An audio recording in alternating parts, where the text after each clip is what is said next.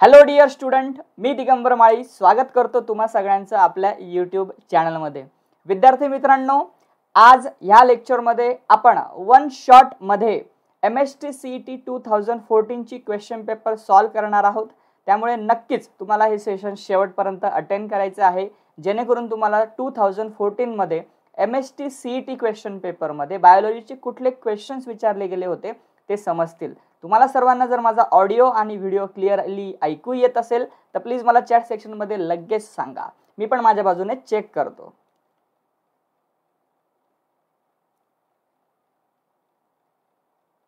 So एक minute फक्त मला चेक करू द्या. आय थिंक सगळ्यांना माझा आवाज क्लिअरली ऐकू येतो आहे. राईट येस ग्रेट सो कोण कोण जॉईन झालं आहे आपल्यासोबत? एकदा फक्त तेवढं चेक करूया. Just a minute okay so आपल्यासोबत आहेत Manali Durgesh P G creation Aastha Komal welcome right welcome welcome welcome I think सगळ्यांना माझा आवाज येतो आहे. येस हो म्हणतायत सगळेजण. Thank you thank you Atharva Gauri Bhushan welcome thank you Khushi Narayan thank you चलो बच्चा पार्टी. सो सुरू करूया. Let start with the first question how many N A D molecules get reduced in complete oxidation of one glucose molecule ग्लुकोजचं जेव्हा complete oxidation होतं म्हणजे एका ग्लुकोजचं तेव्हा किती एन ए डी मॉलिक्युल्स हे रेड्यूस होतात बाळांनो? हा तुमचा क्लास इलेवनचा क्वेश्चन आहे. रेस्पिरेशन अँड एनर्जी ट्रान्सफर या चॅप्टरमधला आणि या ठिकाणी करेक्ट उत्तर काय असणार आहे बच्चा पार्टी? यस तुमची उत्तरं आलीत का माझ्याकडे? Okay great right so absolutely correct ten option correct आहे बाळांनो. Respiration and energy transfer chapter तुम्ही व्यवस्थित वाचला आहे का सगळ्यांनी? आणि जर वाचला नसेल तर त्या चॅप्टरमध्ये मी तुम्हाला जस्ट एकदा सांगून देतो की याचं उत्तर तुम्हाला कुठे मिळून जाईल. एकच मिनटं द्या फक्त मला ठीक आहे? एकच एकच एकच मिनटं मी लगेच तुम्हाला सांगतोय. जस्ट मिनिट फक्त मला एकदा शोधू द्या.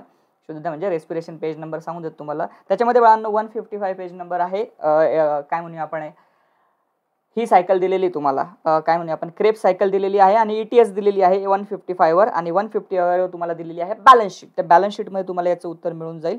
एन ए डीचे मॉलिक्युल्स कॅल्क्युलेट करून घ्या. टोटल नंबर आहे तर टेन सो या ठिकाणी तुम्हाला लक्षात ठेवायचे आहेत. डन क्लिअर ओके चला पुढे जाऊया आपण.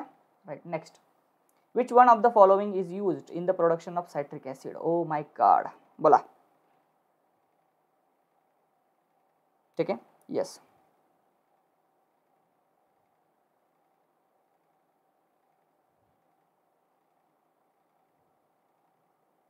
काय करेक्ट आन्सर याचं? राईट ॲस्परजिलस नायगर बरोबर बाळांनो. एन्हान्समेंट ऑफ फूड प्रोडक्शन हा चॅप्टर तुम्ही जर व्यवस्थित रीड केलेला असेल तर तुम्हाला याचं उत्तर मिळून जाईल. सायट्रिक ॲसिड हे बनवण्यासाठी ॲस्परजिलस नायगर हा मायक्रो ऑर्गॅनिझम यूज केला जातो. ठीक आहे? रायझोपस अरायझस फ्युमारिक ॲसिड आहे. ॲसिटोबॅक्टर ॲसिटी व्हिनेगर ज्याला म्हटलं जातं ॲसिटिक ॲसिड त्याच्यासाठी आहे. आणि शॅकरोमायसिस सेरेवेसी इथेनॉल अल्कोहॉल अमृतासाठी आहे. चलो नेक्स्ट मी त्याला अमृत असं म्हणतो.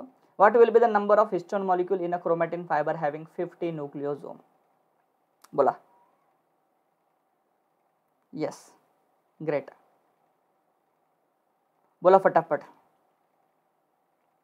तर तुम्हाला हिस्टोन मॉलिक्युल्स कॅल्क्युलेट करायचे क्रोमॅटिन फायबरमधले की ज्याच्यामध्ये पन्नास न्यूक्लिओझोम आहे. आता बघा हा क्वेश्चन कसा सॉल्व्ह करायचा? न्यूक्लिओझोम सगळ्यांना माहिती आहे. ठीक आहे? न्यूक्लिओझोम ओके सो न्यूक्लिओझोममध्ये तुम्हाला लक्षात ठेवायचं की दोन मॉलिक्युल्स असतात. एक असतो कोर हिस्टोन ठीक आहे? एक असतो कोर हिस्टोन आणि दुसरा असतो लिंकर हिस्टोन ठीक आहे?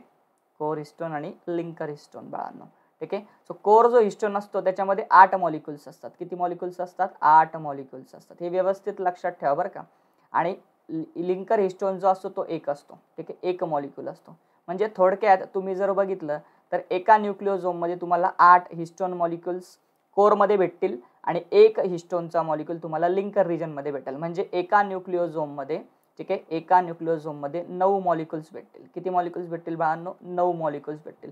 असे तुम्हाला किती न्यूक्लिओझोम विचारलेत बाळांनो? पन्नास न्यूक्लिओझोम विचारलेले किती? पन्नास न्यूक्लिओझोम विचारले सो पन्नास जर एकामध्ये नऊ आहेत तर पन्नासमध्ये किती पाहिजे? Fifty multiply by nine. So उत्तर येतं तुमचं फोर फाय झिरो मॉलिक्युल्स. बरोबर आहे? राईट? सो किती मॉलिक्युल्स लागतील बाळांनो तुम्हाला? फोर फाय झिरो मॉलिक्युल्स लागतील. त्याच्यामुळे B option will be the correct choice समजलं सगळ्यांना? राईट क्लिअर काही जण म्हणतात सर मला फक्त बारावी येतं अकरावी येत नाही. ज्यांना अकरावी येत नाही बाळांनो टेन्शन घेऊ नका. अकरावीचे पण आपण लेसन कंप्लीट करणार आहेत. ठीक आहे? पण अभ्यास तुम्हाला मात्र करावा लागणारच आहे. चलो आता एक मस्तपैकी मोठा न्यूमरिकल दिलेला आहे. हा टू थाउजंड फोर्टीनमध्ये येऊन गेलेला आहे. प्रतीक्षा मिळून जाईल तुम्हाला टेन्शन घेऊ नका. ठीक आहे? पुन्हा पुन्हा कमेंट करू नका. आम्हाला दिसत आहेत कमेंट तुमच्या सगळ्यांचे. वाचतोय मी. Right great yes okay so तुम्ही सगळ्यांनी लाईक तर केलेलं आहे ना सेशनला हां मी सुरू करतो आहे आता. बघा तुम्हाला काय दिलं आहे न्यूमरिकल बघा.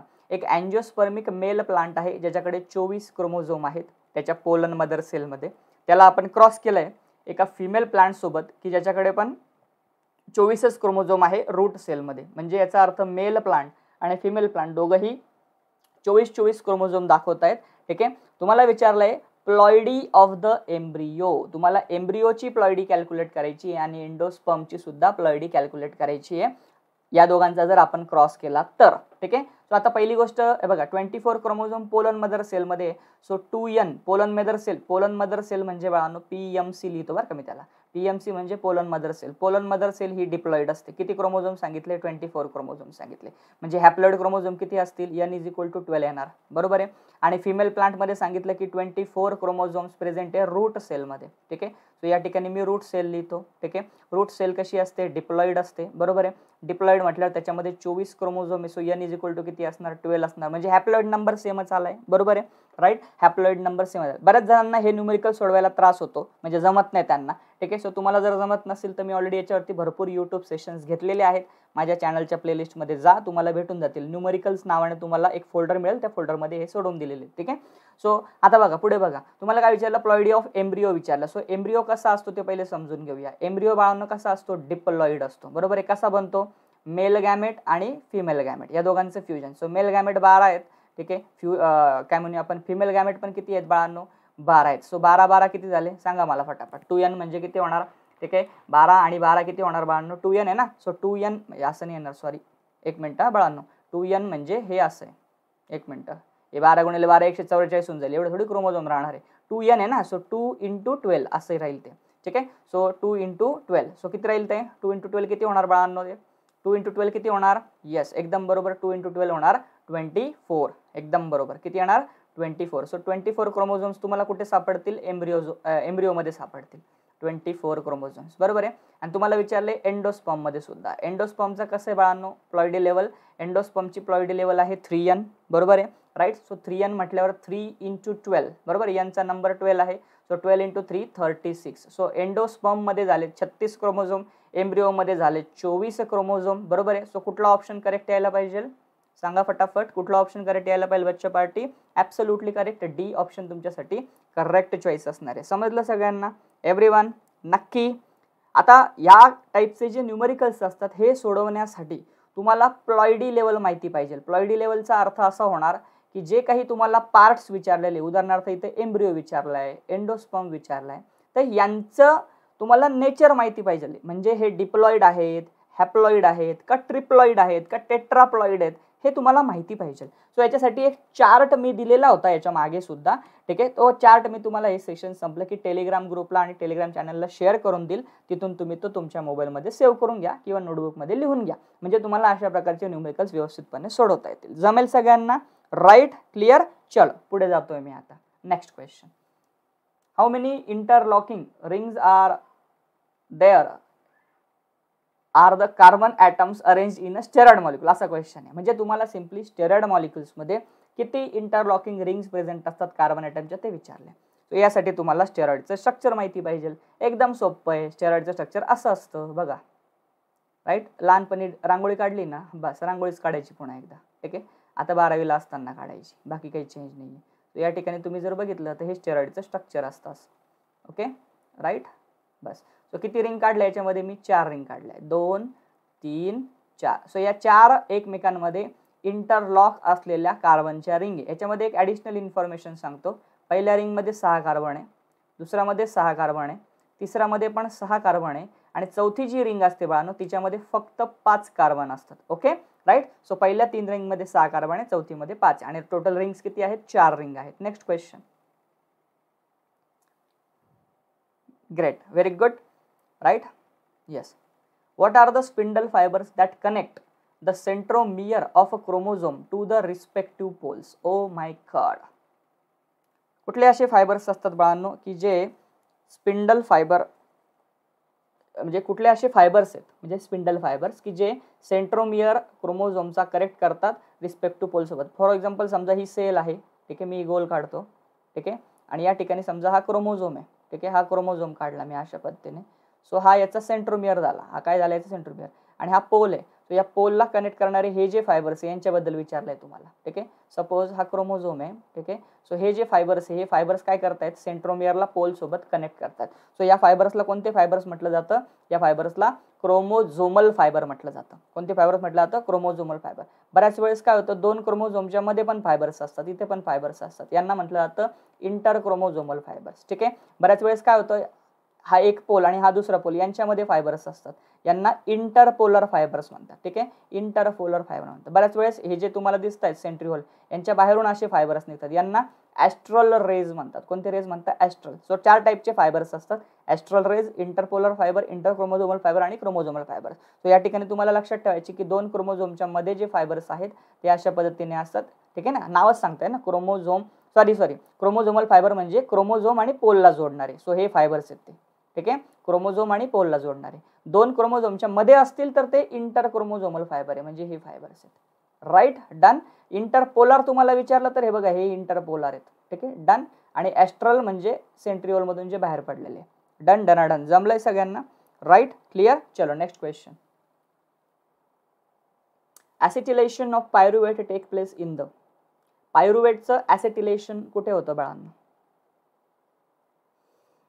म्हणजे लिंक रिॲक्शनचा क्वेश्चन तुम्हाला विचारलेला आहे. कसला क्वेश्चन आहे हा? लिंक रिॲक्शन सगळ्यांना लिंक रिॲक्शन माहिती आहे ना? हा. ग्लायकोलायसिस संपल्यानंतर क्रेब सायकल सुरू होते. पण त्या दोघांच्या मध्ये एक छोटीशी रिॲक्शन असते जिला लिंक रिॲक्शन म्हटलं जातं. त्यालाच ॲसेटिलेशन ऑफ पायरुवेट असं म्हणतात. आणि ही रिॲक्शन बाळांनो होते पेरी मायटोकॉन्ड्रियल स्पेसमध्ये कुठे होते बाळांनो? पेरी मायटोकॉन्ड्रियल स्पेसमध्ये होते. समजलं सगळ्यांना? Everyone Ritesh Sakshi Urmila Atharva Prajakta Pranali okay clear Durgesh Pankaj I hope सगळ्यांना क्लिअर झालेलं आहे. चलो नेक्स्ट क्वेश्चन की तरफ जाएंगे ready for the next question yes here is the next question cross pollination does not occur in cross pollination कोणामध्ये होणार नाही बाळांनो? असा प्रश्न तुम्हाला विचारलाय.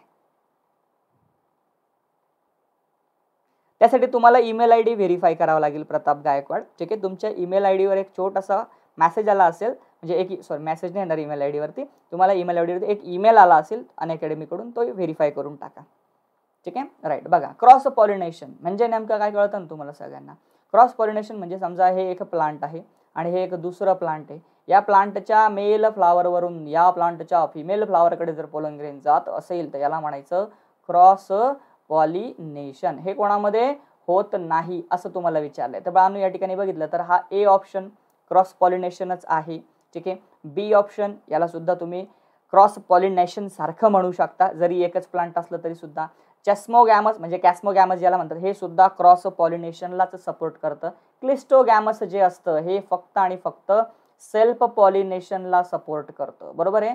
क्रिस्टोगॅमस म्हणजे कळतं ना याच्यामध्ये पॉलिनेशन होऊन जातं before opening of the flower म्हणजे फ्लावर ओपन होण्याच्या अगोदरच पॉलिनेशन होऊन जातं. म्हणजे याच्यामध्ये ऑलवेज कोणतं पॉलिनेशन आहे? सेल्फ पॉलिनेशन त्याच्यामुळे हे बसत नाही. त्याच्यामुळे C will be the correct choice for us जमलंय? Right क्या बात आहे. जमतंय सगळ्यांना? यस विक्रम विचारतोय sir C T exam post पण होईल का? विक्रम त्याचा नको विचार करू. आता तू जस्ट फक्त अभ्यासावर फोकस कर. ज्या गोष्टी आपल्या कंट्रोलमध्ये नाही ना त्याचा विचार नाही करायचा. Next which one of the following is a dicot weedicide पुढीलपैकी कोण डायकॉट विडीसाईट आहे? तुम्हाला सगळ्यांना ॲप्लिकेशन्स माहिती आहेत कोणाचे? ऑक्झिन मी तुम्हाला शिकवलेले आहेत. Plant growth and mineral nutrition ज्यांनी बघितलेलं नाही लेक्चर प्लेलिस्टमध्ये जा आणि बघून टाका. ठीक आहे? इम्पॉर्टंट चॅप्टर्स लेक्चर्सचं नाव आणि फोल्डर आहे. So two four D two four dichlorophen oxy acetic acid हा एक सिंथेटिक डेरिव्हेटिव्ह बाळांनो. बरोबर आहे? हा सिंथेटिक डेरिव्हेटिव्ह आहे. कोणाचा आहे? याला सिंथेटिक ऑक्झिन म्हटलं जातं. हा सिंथेटिक ऑक्झिन काय करतो? मोनोकॉट जे क्रॉप असतं ठीक आहे? कोणतं क्रॉप मोनोकॉट जे क्रॉप असतं या मोनोकॉट क्रॉपमधून डायकॉट जे वीड असतात ठीक आहे? डायकॉट नावाचं जे तण असतं ठीक आहे? विनाकारण उगवलेलं जे गवत असतं या डायकॉटला तो काय करतो बाळांनो? किल करतो. काय करतो? किल करतो. म्हणून त्याला डायकॉट विडी साईड असं म्हटलं जातं. विडी साईड म्हणजे विड्सला किल करणारं. जमतंय सगळ्यांना? Right clear? चलो नेक्स्ट क्वेश्चन की तरफ जाएंगे। Senescence in plant leads into dash dash dash of cell senescence सगळ्यांना माहिती आहे ना? सेनेसन्स त्याच चॅप्टरमधला क्वेश्चन आहे. ओके त्याच्यामधला क्वेश्चन आहे. सेनेसन्स म्हणजे बाळांनो एजिंग ज्याला एजिंग असं म्हणतात म्हातारं होणं. ठीक आहे? आता तुम्हीच मला सांगा तुम्ही जर म्हातारं झाले किंवा मी म्हातारा झालो कधी ना कधी तर होणारच आहे ना? आपण सगळेजण म्हातारा. सो म्हातारा झाल्यानंतर काय होणार? म्हातारा झाल्यानंतर आपली काय होणार बा? डेथ होणार की नाही? आपण एक्सपायर होणार ठीक आहे? मग लोक आपल्या अंतयात्रेला येणार ठीक आहे? मग आपलं दहावं बारावं ठीक आहे? पुढची जी काही विधी असणार ती होणार ठीक आहे? म्हणजे एजिंग नंतर पुढची स्टेप काय असणार? डेथ असणार. बरोबर आहे? राईट आणि जर आपण काहीतरी इनक्रेडिबल काम या जगामध्ये करून गेलेलो असेल तर लोक आपल्याला वर्षानुवर्ष लक्षात ठेवणार. बरोबर आहे? त्यासाठी आपला जन्म काहीतरी इनक्रेडिबल करण्यासाठी झाला हे डोक्यात नेहमी राहू द्या. ठीक आहे? राईट जगण्यासाठी नाही आपला जन्म. काहीतरी करून दाखवण्यासाठी आपला जन्म आहे. जग जगणं तर हे बाकीचे अॅनिमल्स पण आहेत ना? ठीक आहे? मग त्याच्यातून आपल्या डिफरन्स काय? आपल्यामध्ये डिफरन्स आहे इथे इथे. ठीक आहे? इथे म्हणजे कळतंय आहे सगळ्यांना? आपल्याला हे वेगळं दिलं देवाने. इनक्रेडिबल करूया छान. लोकांसाठी काहीतरी जगूया. आणि मग लोक आपल्यालाही लक्षात ठेवतील. चलो next question which of the following cross will give recessive progeny पुढीलपैकी कुठला क्रॉस असा आहे बाळांनो की जो तुम्हाला रिसेसिव्ह प्रोजेनी देईल.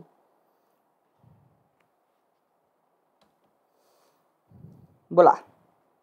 क्या बात आहे ग्रेट आज मुलं थोडे कमी दिसत आहेत का बरं?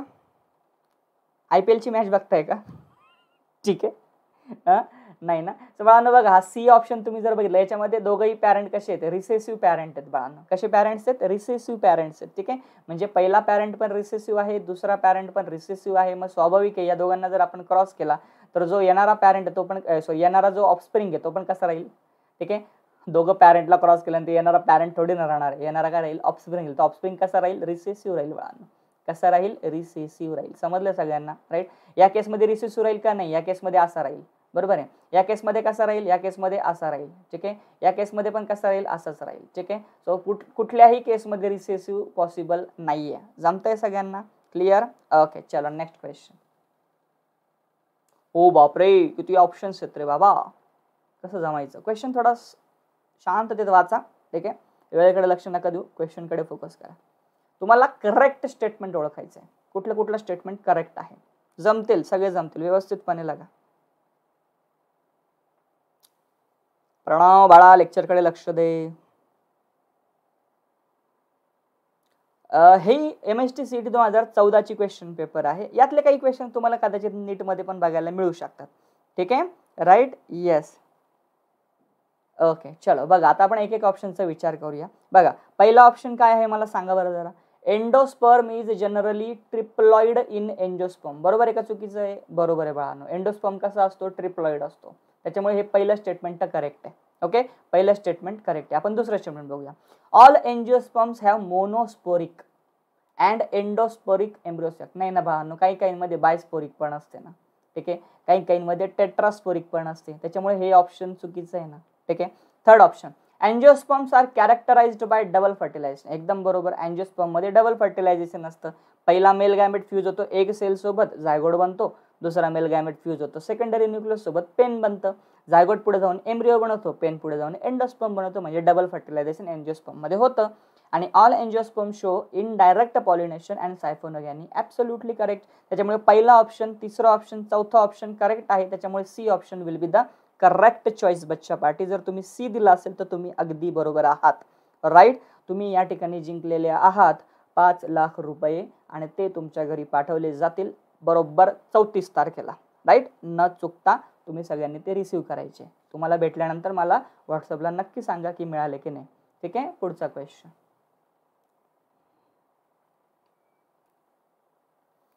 हसू नका. खरंच सांगायचं आहे मला. मॅसेज करायचं व्हॉट्सअपला हो खरंच ना. मजाक थोडी करतोय. सिरियस मला किती पैसे वाटावं लागतील रे? एकशे चौदा विद्यार्थी लाईव्ह दिसत आहेत गुणिले पाच लाख. ओ बाबू. मला मला डायरेक्ट असं मोठं कर्ज काढावं लागेल डायरेक्ट ठीक आहे? हरकत नाही. चला. सो सिक्वेन्स ऑफ न्यूक्लिओटाइड्स तुम्हाला या ठिकाणी दिलेले आहेत. बघा हा न्यूक्लिओटाईडचा सिक्वेन्स आहे. तुम्हाला ओळखायचा हा कसला सिगमेंट आहे? हा कसला सिक्वेन्स आहे? मला सांगा डीएनए येईल का? डीएनए मध्ये कधी यू बघितलाय का तुम्ही? अरे असतो का डीएनए मध्ये यू डीएनए मध्ये काय असतं? ए ची जोडी टी सोबत असते जी ची जोडी सी सोबत असते. म्हणजे डी मध्ये डीएनए मध्ये यू नावाचा पत्ता नसतो. ठीक आहे? सो इथे तुम्हाला यू दिलेलं आहे. म्हणजे पहिला ऑप्शन येईल का? नाही येणार. दुसरं ऑप्शन येईल का? नाही येणार. तिथं पण डी दिलाय. ठीक आहे? तिसरं ऑप्शन येईल का? काय वाटतं तुम्हाला? चौथा ऑप्शन येईल का? चौथा? पॉलिपेप्टेड चेन पॉलिपेप्टेड चेन मध्ये काय असतं? अमायनो ऍसिड असतात ना? म्हणजे चौथा ऑप्शन पण येणार नाही. ठीक आहे? मग उरला कोण? डी सी सॉरी सी उरला ना रे. मग सी मध्ये आर एन असतो ना. आर एन ए ना? ए ची जोडी यू सोबत आणि जी ची जोडी सी सोबत. बरोबर आहे. C option will be the correct choice समजलंय सगळ्यांना? क्लिअर एव्हरी वन तुमचे जे काही क्वेश्चन्स आहेत सेशनच्या शेवटी मी नक्की घेईल. चलो नेक्स्ट क्वेश्चन ग्रेट बरोबर.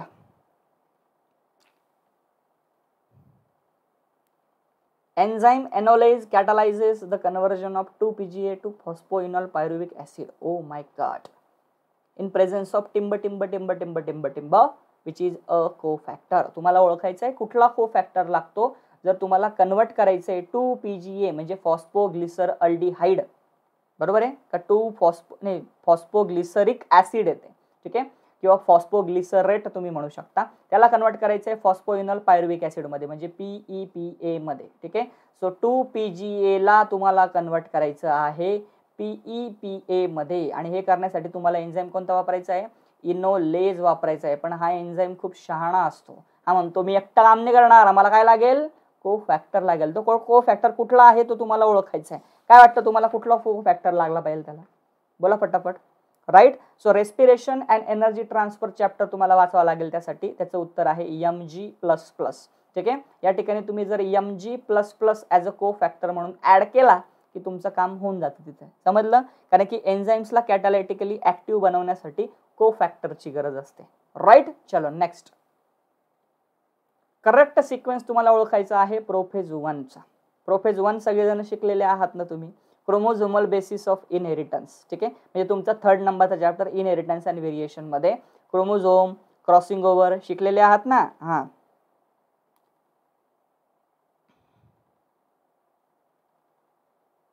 क्वेश्चन किती इझी आहेत? अभ्यास तुमचा चांगला झालेला असेल म्हणून कदाचित इझी वाटत असतील तुम्हाला. ठीक आहे? अदरवाईज क्वेश्चन्स हे क्वेश्चन्स प्रमाणेच आहेत.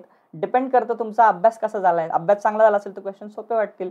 अभ्यास झालेला नसेल तर तुम्ही तुक्के मारणार बाकी काही नाही करणार. ठीक आहे? सो बघा प्रोफेज वन म्हणजे मिओसिस वनबद्दल तुम्हाला विचारलंय.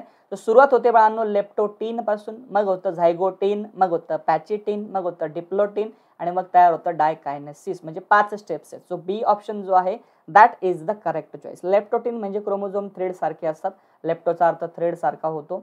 झायगोटीनमध्ये त्यांची पेअर होते. झायगो म्हणजे पेअर पॅचिटीन म्हणजे ते एकमेकांना क्रॉस करतात. डिप्लोटीनमध्ये परत ते लांब होण्याचा प्रयत्न करतात. डायकायनेसिसमध्ये पुन्हा ते लांब लांब जातात. त्याला टर्मिनलायझेशन वगैरे म्हटलं जातं. So leptotene zygotene pachytene diplotene आणि डायकायनेसिस म्हणजे bivalent formation tetrad formation crossing over त्यानंतर तुम्हाला सांगतो मी टर्मिनलायझेशन. बस अशा पद्धतीच्या स्टेप्स तुम्हाला ऑलरेडी टेक्स्टबुकमध्ये पण आहेत.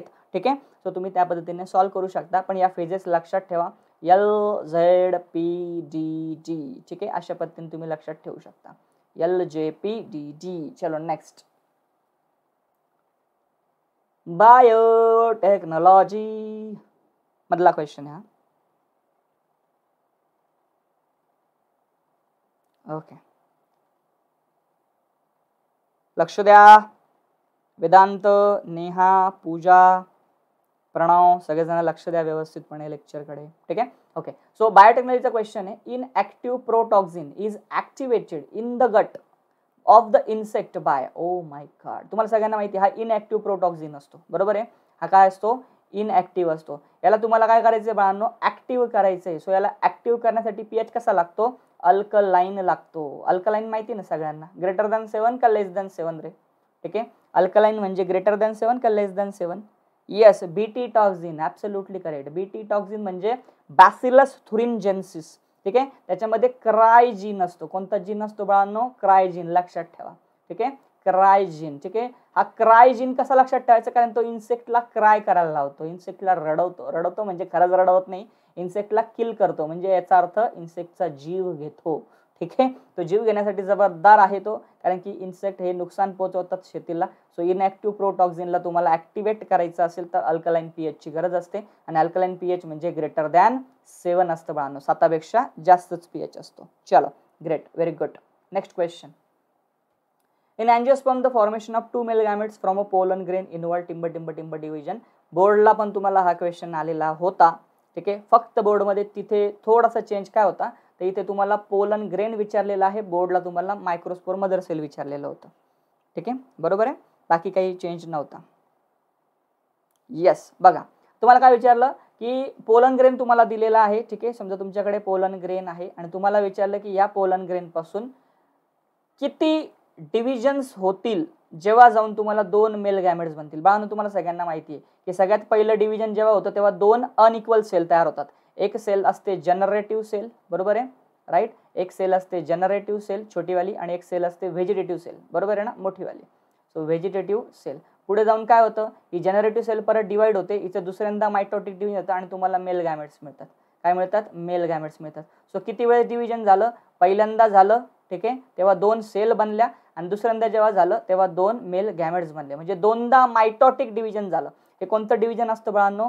मायटॉटिक डिव्हिजन असतं. बरोबर आहे? सो दोन वेळेस जेव्हा मायटॉटिक डिव्हिजन होईल ठीक आहे दिलेलं आहे का? हा सी ऑप्शन दिलेलं आहे. त्यावेळेस तुम्हाला दोन मेल गॅमेट्स मिळतील. पण समजा या ठिकाणी तुम्हाला पोलन ग्रेन देण्याच्या ऐवजी मायक्रोस्पोर मदर दिलं. मायक्रोस्पोर ठीक आहे मदर सेल दिलं सपोज तुम्हाला. तर त्यावेळेस केस काय होईल बघा. मायक्रोस्पोरमध्ये मदर सेल जर दिली तुम्हाला ती डिप्लॉईड असते ठीक आहे? ती पहिल्यांदा जेव्हा डिवाइड होते बाळांनो तेव्हा तिथं मिओसिस होतं. तिथं काय होतं बाळांनो? मिओसिस सो एक मिओसिस आणि दोन मायटॉसिस जेव्हा होतील ठीक आहे? एक मिओसिस आणि दोन मायटॉसिस जेव्हा होतील बाळांनो ठीक आहे? दोन मायटॉसिस जेव्हा तेव्हा तुम्हाला जाऊन काय मिळतील बाळांनो? मेल गॅमेट्स मिळतील. सो त्यामुळे क्वेश्चनमध्ये व्यवस्थित बघायचं आहे की तुम्हाला पोलन ग्रेन विचारलेला आहे की मायक्रोस्पोर मदर सेल विचारलेला आहे. ठीक आहे? सो मायक्रोस्पोर मदर सेल जर तुम्हाला विचारला असेल तर तुमचं उत्तर येणार एक मिओसिस अँड दोन मायटॉसिस ठीक आहे? आणि जर तुम्हाला पोलन ग्रेन विचारलेलं असेल तर तुमचं उत्तर येणार फक्त आणि फक्त दोन मायटॉसिस समजलंय सगळ्यांना? व्यवस्थितपणे क्वेश्चन बघायचं. अजिबात कन्फ्यूज व्हायचं नाही. बऱ्याच जणांनी कदाचित ते बघितलं असेल नाही याच्यात मिओसिसचा ऑप्शनच नाही मग काय करायचं? रे ना असं करायचं नाही. व्यवस्थितपणे बघायचं की पोलन मदर सेल दिलेली आहे की फक्त पोलन ग्रेन दिलेलं आहे. राईट डन क्लिअर येस चलो नेक्स्ट क्वेश्चन घेतोय मी. सोपा क्वेश्चन आहे. आताच आपण सॉल्व्ह केला होता की प्रोफेज वनच्या कुठल्या स्टेजमध्ये बाळांनो त्या ठिकाणी तुम्हाला पॅरेंटल कॅरेक्टरचं जेनेटिक रिकॉम्बिनेशन होताना बघायला मिळतं. रायगोटीनमध्ये पॅचेटिनमध्ये डिप्लोटीनमध्ये का डायकॅनेसिसमध्ये सो पॅरेंटल रिकॉम्बिनेशन म्हणजे बाळांनो क्रॉसिंग ओव्हर ओके लॅग वगैरे काही होत नाही. सेशन एकदम स्मूथ चालू आहे. ठीक आहे? ज्यांना लॅग होत आहे त्यांनी त्यांचं इंटरनेट कनेक्शन चेक करून घ्या. पॅचिटिन बाळांनो इथं क्रॉसिंग ओव्हर होतं. ओके? पॅचेटिन जी फेज असते इथे क्रॉसिंग ओव्हर होतं आणि क्रॉसिंग ओव्हर झालं की ते रिकॉम्बिनेशनसाठी जबाबदार असतं. बरोबर आहे? रिकॉम्बिनेशनसाठी जबाबदार असतं आणि रिकॉम्बिनेशन एकदा झालं की that is responsible for evolution okay? इव्होल्युशनसाठी ते जबाबदार आहे. जमलंय सगळ्यांना? क्लिअर ओके चलो नेक्स्ट क्वेश्चन की तरफ जाएंगे ready synthesis of one glucose molecule required dash dash dash reduced N A D P molecules बाळांनो हा क्वेश्चन ॲक्च्युली तुमचा आहे ना डिलीटेड सिलेबसमधला क्वेश्चन आहे ओके हा तुम्हाला नाही जमला तरी चालेल याचं उत्तर ट्वेल्व आहे. हा क्वेश्चन आय थिंक फोटोसिंथसिसमधला आहे ठीक आहे? तुम्हाला नाही येतो सी ई टीला ठीक आहे? तुम्ही नाही सोडवलं तरी चालेल काय हरकत नाही. चलो नेक्स्ट क्वेश्चन आत्ताच सांगितलं होतं मी क्रायजिनबद्दल तुम्हाला ओके क्रायजिन इन्सेक्टला रडवतो ठीक आहे? क्रायवरून लक्षात ठेवायला सांगितलं होतं. आणि कुठला बॅक्टेरिया सांगितलं होतं ज्याच्याकडून आपल्याला क्रायजिन मिळतो? बरोबर व्हेरी गुड राईट कोण आहे तो? बोलो बोलो कोण है वो? Bacillus thuringiensis B T ज्याला म्हटलं जातं बाळांनो. काय म्हटलं जातं? बी टी याच्यामध्ये क्रायजीन असतो. कोण असतो? क्रायजीन असतो. समजलं सगळ्यांना? ॲग्रोबॅक्टेरियम टमीफेशन बाळांनो नाही येणार ठीक आहे? त्याच्यामध्ये टी आय प्लाझमिडचा रोल आहे. रायझोबियम लेगोमिनो सॅरम आणि रायझोबियम फॅसिओली बाळांनो हे तुम्ही जर बघितलं तर हे बायो फर्टिलायझर्स आहेत. कोण आहेत? सी आणि डी कोण आहेत? बायो फर्टिलायझर्स आहेत. हा फॅसिओली बिनसाठी आहे ठीक आहे? आणि लेगुमिनो सारम पीसाठी आहे ठीक आहे? हे एकदा फक्त चेक करून घ्या. इनान्समेंट ऑफ फूड प्रोडक्शन मधला क्वेश्चन आहे हा. सॉरी बरोबर? राईट तर त्यापर्यंत तुम्हाला लक्षात म्हणजे हे तुम्हाला सी आणि डी हे इनान्समेंट ऑफ फूड प्रोडक्शन चॅप्टरमध्ये दिलेले आहेत. आणि क्रायजिन हा बायोटेक्नॉलॉजीचा क्वेश्चन आहे. तो बॅसिलस थुरिंजेन्सिस बायोटेक्नॉलॉजीमध्ये दिलेला आहे. समजलं सगळ्यांना? क्लिअर राईट चलो very good next question incorrect match तुम्हाला प्रोटीन आणि त्यांच्या रोल्समधला ओळखायचा इनकरेक्ट मॅच ओळखायचा. चुकीची जोडी ओळखायची.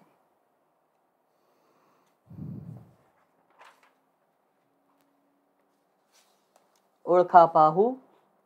चुकीची जोडी. काय वाटतं? राईट ग्रेट सो किरॅटिन तुम्ही जर बघितलं तर किरॅटिन काय बाळानं कुठे असतं? आपल्या हेअरमध्ये असतं आपल्या स्किनमध्ये असतं आपल्या नेल्समध्ये असतं. म्हणजे ते एक स्ट्रक्चरल कंपोनंट आहे. त्याला स्ट्रक्चरल प्रोटीन म्हणतात. ए ऑप्शन बरोबर आहे. सेकंड इम्युनोग्लोबुलिन्स बाळांनो त्याला शॉर्टमध्ये आय जी असं म्हणतात. आय जी म्हणजे इम्युनोग्लोबुलिन्स त्यालाच बाळांनो अँटीबॉडी म्हणतात. बरोबर आहे ना? मग अँटीबॉडी काय करतं? अँटीबॉडी आपल्याला प्रोटेक्ट करते वेगवेगळ्या डिसीजपासून बरोबर आहे ना? कोविड नाईन्टीनचे अँटीजन बॉडीमध्ये गेले की त्याच्या त्याला मारण्यासाठी काय बनणार? अँटीबॉडीज बनणार. म्हणजे immunoglobulin protection of body against diseases हे पण बरोबर आहे. सेकंड ऑप्शन पण बरोबर आहे. राईट समजलं सगळ्यांना? ओके ठीक आहे? थर्ड ऑप्शन तुम्ही जर बघितलं तर haemoglobin transport of O two muscle अरे या पे थोडा ट्विस्ट आहे. हिमोग्लोबिन ट्रान्सपोर्ट करतो ओ टूचं हे बरोबर आहे. ठीक आहे ट्रान्सपोर्ट करतो ओ टूचं हे बरोबर आहे. पण मसल्समध्ये नाही करत. कोणामध्ये करतो? ब्लडमध्ये करतो. ठीक आहे? कोणामध्ये करतो? ब्लडमध्ये मग मसल्समध्ये कोण करतं? मसल्समध्ये ट्रान्सपोर्ट करणारा आहे मायोग्लोबिन. कोण आहे बाळांनो? Myoglobin transport of O two in the muscles myo ठीक आहे? मायो का मिनिंग होता आहे? मसल समजलं सगळ्यांना? राईट मी एकदम मजेत आहे प्रथमेश. तू कसा आहेस? ओके नेक्स्ट क्वेश्चन आहे thrombin thrombin blood clotting question नाही. नेक्स्ट ऑप्शन हा पण बरोबर आहे. हे बघा ए ऑप्शन पण बरोबर आहे बी ऑप्शन पण बरोबर आहे डी ऑप्शन पण बरोबर आहे. सी मात्र चुकीचा आहे थोडक्यात चुकीचा आहे. थोडासा कॉम्प्लिकेटेड आणि थोडासा ट्विस्टेड क्वेश्चन होता. समजलं सगळ्यांना? Very good Raj Nandini you are absolutely correct Pranali you are also correct Ratan Bhagyashree ठीक आहे? सिद्धी पिराजी सगळेजण एकदम बरोबर आहेत. क्या बात आहे. चलो नेक्स्ट क्वेश्चन इन इंडिया भारतामध्ये research in genetic modification of organism and safety issues are controlled by कोणती ऑर्गनायझेशन आहे की जी कंट्रोल करते रे बाबा? रिसर्च वगैरे. आहे ना? ऑर्गॅनिझमला मॉडिफाय करणं जी एम ओ ज्याला म्हटलं जातं जेनेटिकली मॉडिफाईड ऑर्गॅनिझम याला कंट्रोल करणारी ऑर्गनायझेशन कुठली आहे?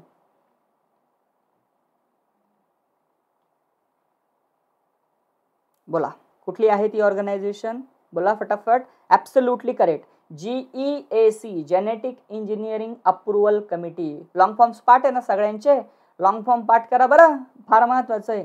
Genetic engineering approval committee C S I R council of scientific and industrial research येणार नाही इथे. I A R I Indian agricultural research institute येणार नाही. डीबीटी डीबीटी असं काही नाही आहे पण त्याला अर्थ डायरेक्ट बँक ट्रान्सफर असं पण तुम्ही घेऊ शकता पण तो पण येणार नाही ठीक आहे? सो हे तिघही ऑप्शन जे पहिले दिले ते नाही येणार बाळांनो. G E A C genetic engineering approval committee will be the correct choice right great next question की तरफ जाएंगे. A couple both carrier for the gene sickle cell anaemia planning to get married want to know the chances of having anaemic progeny एक couple आहे दोघं पण carrier आहे. Sickle sale ॲनिमियासाठी आणि त्यांना दोघांना लग्न करायचं आहे त्यांना हे जाणून घेण्याची इच्छा आहे की त्यांना होणारी जे काही मुलं असतील अपत्य असतील त्यापैकी ॲनिमिया असलेली प्रोजेनी किती असेल? त्याचं पर्सेंटेज काय असेल? यार यांचा पर्सनल मॅटर यांनी पर्सनली सॉल्व करावा ना? आपल्याला काय विचारावं? काय वाटतं तुम्हाला? है ना? बरोबर आहे ना? सर हे क्वेश्चन ॲज इट इज येऊ शकतं का? It's a good question Sapna as it is येतील की नाही त्याचे चान्सेस कमी आहेत. पण क्वेश्चन्स थोडेसे मॉडिफाय करून नक्कीच येतात. पी वाय क्यूला तुम्ही त्या ठिकाणी इम्पॉर्टन्स दिलाच पाहिजे. बरेच मुलं पी वाय क्यूला इम्पॉर्टन्स देत नाही. राईट आपण सॉल्व्ह करून घेऊया. कॅरियर बघा. कॅरियर कशा लिहिणार आपण? H B A H B S हा एक कॅरियर झाला. म्हणजे सपोज याला मेल म्हणूया आपण. सो दिस इज मेल ठीक आहे? आणि दुसरा असणार फिमेल सो फिमेल कशी असेल? एच बी ए आणि एच बी एस ठीक आहे? सो तुम्हाला सिम्पली काय करायचं यांचा क्रॉस करायचा आहे ठीक आहे? चलो क्रॉस करूया. H B A H B S बरोबर? इकडे काय असणार? Same H B A H B S बरोबर आहे? सिम्पली यांना काय करा? क्रॉस मल्टिप्लाय करा. क्रॉस मल्टिप्लाय करा म्हणजे कळतं ना? यांच्या पेअर्स बनवा. पहिली पेअर ठीक आहे? ही दुसरी पेअर बरोबर आहे? ही तिसरी पेअर ओके आणि चौथी पेअर बरोबर आहे? पहिली पेअर काय म्हणते? पहिली पेअर म्हणते आम्ही नॉर्मल आहोत. ठीक आहे? हे नॉर्मल आहे बाळांनो. This is normal normal normal progeny ठीक आहे? आपल्याला नॉर्मल नाही विचारली. आपल्याला ॲनेमिक प्रोजेनी विचारलं ठीक आहे?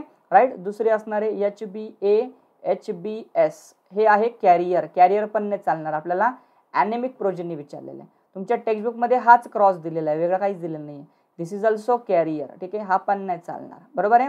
Last one is the H B S and H B S last one is the anaemic बरोबर आहे? लास्ट जी पेअर आहे बाळांनो ती ॲनेमिक आहे. ठीक आहे? लास्ट प्रोजेनी ॲनेमिक आहे. सो टोटल प्रोजेनी किती आहेत? तर चार आहेत. चारपैकी ॲनेमिक किती आहे बाळांनो? एक आहे. So one upon four total आहेत चार. चारपैकी एक प्रोजेनी ॲनेमिक आहे. मल्टिप्लाय बाय हंड्रेड तर उत्तर येतं ट्वेंटी फाईव्ह पर्सेंट चारपैकी एक म्हणजे पंचवीस टक्के. जमलंय सगळ्यांना? राईट सो इसी बात पे एक लाईक हो जाए बरं फटाफट. एकदाच लाईक करायचं आहे दोनदा नाही करायचं आणि नवीन विद्यार्थ्यांनी सबस्क्राईब करून घ्यायचं चलो next question total number of total total number of types of gametes produced in a cross between a negro and albino parent oh थोडा सा वेगळा आहे हा ठीक आहे एक दिलाय निग्रो बरोबर? आणि एक दिलाय अल्बिनो चला सॉल्व करून बघूया आपण. निग्रो कसा लिहिणार बाळांनो? निग्रो असा लिहितात. ए A B B C C ठीक आहे? अल्बिनो कसा लिहितात? Small A small A small B small B small C small C negro म्हणजे एक्स्ट्रीमली ब्लॅक ठीक आहे? ओके? एक्स्ट्रीमली ब्लॅक आणि अल्बिनो म्हणजे प्युअर व्हाईट ठीक आहे? Pure white okay? Right so purely black purely white या दोघांचं जर आपण लग्न लावून दिलं किंवा या दोघांनी जर मॅरेज केलं तर यांच्यापासून ऑफस्प्रिंग जे तयार होतील ठीक आहे? त्यांच्याबद्दल विचारलंय तुम्हाला. सो तुम्ही जर बघितलं तर या ठिकाणी कसा तयार होईल? F one capital A small A capital B small B capital C small C हा झाला एफ वन बरोबर आहे? हा झाला एफ वन आणि हा याचं तुम्हाला गॅमेट्स विचारलेले आहेत. ठीक आहे? गॅमेट्स विचारतो गॅमेट कसे काढणार? सिंपल आहे. आपल्याला फॉर्म्युला माहिती आहे. टू रेस टू एनवाला फॉर्म्युला आहे. बरोबर आहे? टू रेस टू एन वाला फॉर्म्युला आहे. सो एन मला सांगा एन काय असतं? एन म्हणजे हेट्रोझायगस पेअर असते. बरोबर एन म्हणजे काय असते? हेट्रोझायगस पेअर असते. सांगा मला याच्यामध्ये हेट्रोझायगस पेअर किती आहेत? याच्यामध्ये हेट्रोझायगस पेअर ही बघा ही पहिली pair capital A small A दुसरी pair capital B small B आणि तिसरी pair capital C small C तीन पेअर आहेत की ज्या हेट्रोझायगस म्हणजे यांची व्हॅल्यू आपल्यासाठी तीन आहे. सो टू इंटू थ्री कृपा करून सहा करू नका ठीक आहे? टू इंटू थ्रीचा अर्थ होतो two into two into two ठीक आहे? म्हणजे याचं उत्तर आलं आठ. सो आहे का आठ option yes C option will be the correct choice जम्या? जमला का सगळ्यांना? चलो next question human nutrition class इलेवनचा हा क्वेश्चन आहे. तुम्हाला विचारलेला आहे. या क्वेश्चनला व्यवस्थित सॉल्व करा. तुम्हाला एक रिॲक्शन दिली बाळांनो. प्रोटीन्स दिलेले आहेत. मग ॲरो दिलाय इथे एक्स दिला आहे मग प्रोटीएजेस पेप्टॉन्स तयार झाले. मग परत वाय दिलेला आहे. अंडाय पेप्टाईड तयार झाले. सो या रिॲक्शनमध्ये तुम्हाला एक्स आणि वाय ओळखायचा आहे. ठीक आहे? एक्स आणि वाय ओळखायचा आहे. ओळखा पाहू एक्स आणि वाय चलो. सो बाळांनो बघा प्रोटीन्स जेव्हा तुम्ही कन्झ्युम करता सपोज एखाद्याने अंडा खाल्लं नॉनव्हेज खाल्लं सोयाबीन्स खाल्ले दूध खाल्लं किंवा पनीरची भाजी खाल्ली किंवा अजून काही प्रोटीनची पावडर बिवडर घेतली तर काय होणार बाळांनो? हा एक्स आहे ना सगळ्यात पहिले तुमचं डायजेशन करणार. हा एक्स कोण असतो? तर हा एक्स म्हणजे पेप्सिन असतो. कुठे असतो हा पेप्सिन हा पेप्सिन असतो बाळांनो स्टमकमध्ये ठीक आहे? सो तुम्ही खाल्लेलं प्रोटीन सगळ्यात पहिले कुठे जाणार? स्टमकमध्ये. सो हा पेप्सिन पहिले त्या त्या प्रोटीनला काय करणार? इथे डायजेस्ट करणार ठीक आहे? पेप्सिन इथेच का बरा असतो? कारण त्याला ॲसिडिक पी एच आवडतो ठीक आहे? दोन पी एचला तो काम करतो ठीक आहे? दोन पी एचला काम करतो. सो इथे तुमचा तो काय करेल? डायजेस्ट करून टाकेल प्रोटीनला मग त्याचं कन्वर्जन प्रोटिओजेस आणि पेप्टॉन्समध्ये करेल. मग तुमचे प्रोटीन्स म्हणजे प्रोटिओजेस आणि पेप्टोन्स इथून निघणार आणि ते इंटेस्टाईनमध्ये येणार. आले इंटेस्टाईनमध्ये सो इंटेस्टाईनमध्ये आल्यानंतर काय होईल? इंटेस्टाईनमध्ये इथे असणार ट्रिप्सिन ठीक आहे? इथे कोण असणार? ट्रिप्सिन ट्रिप्सिन इथेच का बरं असतो? कारण त्याला जास्त पी एचला काम करावं असं वाटतं. नाईन पी एचला काम करतो तो. मग तो काय करेल? तुमच्या प्रोटिओजसला आणि पेप्टेन्सला डायपेप्टाइड्समध्ये कन्वर्ट करेल. So pepsin and trypsin will be the correct choice जमलंय सगळ्यांना? राईट रिप्लाय करा मला फटाफट. ह्युमन न्यूट्रिशन हे कुठे दिलं सिलेबसमध्ये तुम्हाला एकदा जरा मी सांगून देतो. एकच मिनटं फक्त मला पेज नंबर तुम्हाला सांगू द्या. म्हणजे तुमचं गोंधळ होणार नाही आहे एकच मिनटं. एकच मिनटं. पेज नंबर तुम्हाला लक्षात ठेवायचं आहे. एकच मिनिटं. मी लगेच सांगतो तुम्हाला. अरे गेलं कुठं? कुठं दिलं आहे बरं तुम्हाला सिलेबसमध्ये हे डायजेशनमध्ये दिलेलं आहे. ठीक आहे? एकशे सहासष्ट किंवा एकशे सदुसष्ट दोघांपैकी एका ठिकाणी कुठेतरी तुम्हाला ते सापडून जाईल. ए ह्या चॅप्टरमध्ये का पण हे? नाही ह्या चॅप्टरमध्ये नाही हे. मी तेच म्हटलं बायोमॉलिक्युल चॅप्टरमध्ये बाळांनो कोणत्या चॅप्टरमध्ये आहे? बायोमॉलिक्युल चॅप्टरमध्ये ठीक आहे? बायोमॉलिक्युल चॅप्टर जो आहे बाळांनो त्याच्यामध्ये तुम्हाला दिलेलं आहे. एक मिनटं. Biomolecule biomolecule biomolecule yes page number sixty nine ठीक आहे? क्लास इलेवनचं पेज नंबर सिक्स्टी नाईन काढायचं. त्याच्यावर तुम्हाला याचा आन्सर दिलेला आहे. पेप्सिन तुम्हाला दिलेला आहे की जो स्टमकमध्ये असतो टू पी एचला ॲक्टिव्हिटी दाखवतो बरोबर आहे. आणि ट्रिप्सिन हा डिओडिनममध्ये असतो. नाईन पॉईंट फाईव्ह इथे पी एच जो आहे तो nine point five nine point five आहे हां ठीक आहे? सो डिओडिनममध्ये तो असतो म्हणजे स्मॉल इंटेस्टाईनमध्ये असतो. जमलंय? येस पेज नंबर मी सांगितले सिक्स्टी नाईन चलो next question colostrum human health and diseases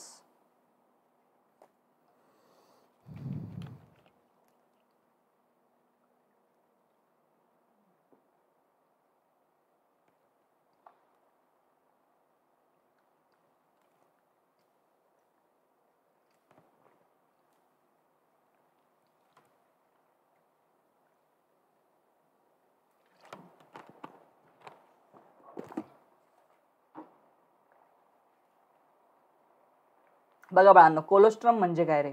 जेव्हा बाळ जन्माला येतं आणि सुरुवातीला जेव्हा ते आईचं दूध पितं तर सुरुवातीचं जे आईचं दूध असतं त्याला कोलोस्ट्रम म्हटलं जातं. या कोलोस्ट्रममध्ये ना बाळांनो रेडीमेड अँटीबॉडीज असतात. कुठल्या असतात? आय जी ए नावाच्या. इम्युनोग्लोबुलिन अल्फा नावाच्या. या रेडीमेड अँटीबॉडीज या बाळाकडे पाठवल्या जातात. म्हणजे कोणाकडे पाठवल्या जातात? इन्फंटकडे नव्याने जन्माला आलेल्या बाळाला इन्फंट म्हणतात. मराठीमध्ये नवजात असं म्हणतात. सो बाळाला अँटीबॉडीज कशा मिळाल्या रे? नॅचरली मिळाल्या. कशा मिळाल्या? नॅचरली मिळाल्या. बरोबर आहे ना? त्याने दूध पिलं. नॅचरली ना? नैसर्गिक येते बरोबर आहे? सो त्याच्यामुळे आर्टिफिशियल दोन ऑप्शन इथे कट होऊन जातात. इथे आर्टिफिशियल दिलं येणार नाही. इथे पण आर्टिफिशियल दिलं येणार नाही. ठीक आहे? बरं. त्यानंतर मला सांगा बाळाने ते काही करणं म्हणजे त्याला अँटीबॉडी मिळण्यासाठी बाळाला काही कष्ट घ्यावे लागले का? अजिबात काही नाही. बाळाला रेडीमेड मिळाला अँटीबॉडी सो ज्यावेळेस अँटीबॉडीज या रेडीमेड मिळतात बाळांना ठीक आहे? रेडीमेड हा जेव्हा कन्सेप्ट असतो तर त्याला नेहमी पॅसिव्ह असं म्हटलं जातं. काय म्हटलं जातं बच्चा पार्टी? पॅसिव्ह त्याच्यामुळे जो बी ऑप्शन आहे तो करेक्ट असेल. नॅचरली अक्वायर्ड पॅसिव्ह इम्युनिटी त्याला रेडीमेड मिळाल्या बाळांना. त्याच्यामुळे बी आहे. ए नाही येणार. एमध्ये अँटीबॉडीज बनवाव्या लागतात. कारण ते ॲक्टिव्ह आहे. याच्यामध्ये व्हॅक्सिन हे एक्झाम्पल येईल. ठीक आहे? याच्यामध्ये एक्झाम्पल कसलं येईल? व्हॅक्सिनचं येईल. एमध्ये बीमध्ये कोलोस्ट्रमचं एक्झाम्पल आहे. सीमध्ये नाही नाही नाही नाही. ए मध्ये व्हॅक्सिन एक्झाम्पल नाही येणार. ए मध्ये इन्फेक्शन्स कारण की ते नॅचरल आहे ना? नॅचरल आहे. इन्फेक्शन्स येईल. समजा तुम्हाला मिझल झालं किंवा एखादं इन्फेक्शन झालं सो त्याच्यामध्ये ते इन्फेक्शन तुमच्या बॉडीमध्ये नॅचरली झालं. मग तुमच्या बॉडीने त्याच्या अगेन्स्ट अँटीबॉडी बनवल्या. मग तुम्हाला मिझल मिझलचं एक्झाम्पल इथे येणार आहे. ठीक आहे? राईट याच्यामध्ये दुसरं जे आहे याच्यामध्ये एक्झाम्पल कोलोस्ट्रॉमचं एक्झाम्पल आहे because it is also natural third आहे आर्टिफिशियल ॲक्वायर्ड ॲक्टिव्ह इम्युनिटी इथे येणारा व्हॅक्सिन कारण की व्हॅक्सिन आपण आर्टिफिशियली प्रिपेअर करतो ना. पोलिओ व्हॅक्सिन घेतलं किंवा कुठलंही व्हॅक्सिन घेतलं बी सी जी वगैरे व्हॅक्सिन घेतलं. आणि लास्ट आहे आर्टिफिशियल ॲक्वायर्ड पॅसिव्ह इम्युनिटी या ठिकाणी बाळांनो रेबीज व्हॅक्सिन येणार आहे. कोणतं व्हॅक्सिन येणार आहे? रेबीज कुत्रा चावल्यानंतर मांजर चावल्यानंतर डुक्कर चावल्यानंतर अजून काही वेगवेगळे प्राणी चावल्यानंतर जे घेतो आपण त्याला रेबीज व्हॅक्सिन म्हटलं जातं. बरोबर आहे? राईट? समजलं सगळ्यांना? खूप क्वेश्च कन्फ्युजन होतं अशा क्वेश्चन्समध्ये हां कन्फ्युजन तर होतं बॉस ठीक आहे? मी ॲज अ टीचर असून सुद्धा माझं थोडंसं कन्फ्युजन झालं पण मी लगेच स्वतःला सावरलं. कारण की मला लगेच कळालं की म्हटलं अरे नॅचरली येतं. ठीक आहे? सो तुमचं कन्फ्युजन होणं तर स्वाभाविकच आहे बाळांनो. टेन्शन घेऊ नका. कन्फ्युजन सगळ्यांचं होतं. गला सबका सुकता आहे ठीक आहे? पॅस सबको लगती टेन्शन नाही घ्यायचं. सगळेजण ह्युमन बिंग आहोत. आपण कन्फ्युजन होणारच आहे. पण कन्फ्युजन किती होऊ द्यायचं याला लिमिट असलं पाहिजे आणि ते पूर्णपणे डिपेंड करणार तुमच्या प्रिपरेशनवरती ठीक आहे? त्याच्यामुळे त्याचं टेन्शन घेऊ नका. राईट क्लिअर ओके चलो. सर टेस्ट वगैरे नसते का? मी तुमच्यासाठी काय करणार आहे माहिती का? एक रेडीमेड टेस्ट अपलोड करणार आहे. रेडीमेड म्हणजे तिथे मी नसेल. तुम्हाला फक्त क्वेश्चन दिसेल. तुम्ही फक्त आन्सर सबमिट करायचं. ठीक आहे? आणि पुढे सरकायचं. आन्सर सबमिट करायचं पुढे सरकायचं. असे सेशन्स तुमच्यासाठी ऑलरेडी मी लावणार आहे. डोंट वरी डोंट वरी ठीक आहे? येस तुमच्यामुळे क्वेश्चन्स इझी जात आहेत. हां ठीक आहे हरकत नाही. बोला तुम्हाला काय विचारलं? समजा क्रोमोझोम आहे ठीक आहे? आणि या क्रोमोझोममध्ये सेंट्रोमियर असा एंडकडे बघा आहे ना? सो हा एंडकडे चालला आहे क्रोमोझोम बघा सेंट्रोमियर हा सेंट्रोमियर आहे ठीक आहे? सेंट्रोमियर कुठे आहे बाळांनो? एंडकडे आहे. सो तुम्हाला क्रोमोझोमचे चार टाईप्स माहिती असतील ना? पहिला असतो मेटासेंट्रिक जिथे बरोबर सेंट्रोमियर कुठे असतो? सेंटरला असतो. ठीक आहे? दुसरा असतो सबमेटासेंट्रिक जिथे सेंटरपासून थोडासा अवे असतो. तिसरा असतो ॲक्रोसेंट्रिक जिथे बरोबर एंडकडे असतो. आणि टी चौथा असतो टिलोसेंट्रिक जिथे टीपला असतो chromosome so this is metacentric this is sub meta sub metacentric this is acrocentric and this is a telocentric सेंट्रोमियरच्या पोझिशनवर क्रोमोझोमचे चार टाईप्स पडतात. बरोबर आहे? सर मी तुम्ही दिलेले टास्क मी पूर्ण करते डेली क्या बात आहे मनीष. तुम्हाला पूर्ण मार्क्स मिळणार. मग एम एस टी सी मध्ये चांगले मार्क्स मिळतील. सगळ्या विद्यार्थ्यांना मी सांगेल डेली टास्क ॲक्टिव्हिटी मी तुम्हाला दररोज सकाळी देत असतो. आठ ते नऊ या वेळामध्ये देत असतो. ती डेली टास्क ॲक्टिव्हिटी दररोजच्या दररोज कंप्लीट करत चला. आज सुद्धा मी तुम्हाला डेली टास्क ॲक्टिव्हिटी दिलेली आहे. इलेवन नंबरचा टास्क होता आज. ज्या मुलां जे मुलं मागे पडलेत त्यांनी टेन्शन घेऊ नका. पहिल्या दिवसापासून सुरू करा. काही हरकत नाही आहे चलो. नेक्स्ट कंट्रोल अँड कोऑर्डिनेशन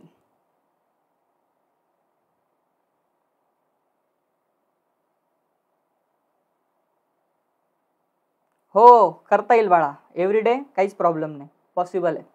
तुम्ही दुसऱ्या मोबाईलवरून पण घेऊ शकता.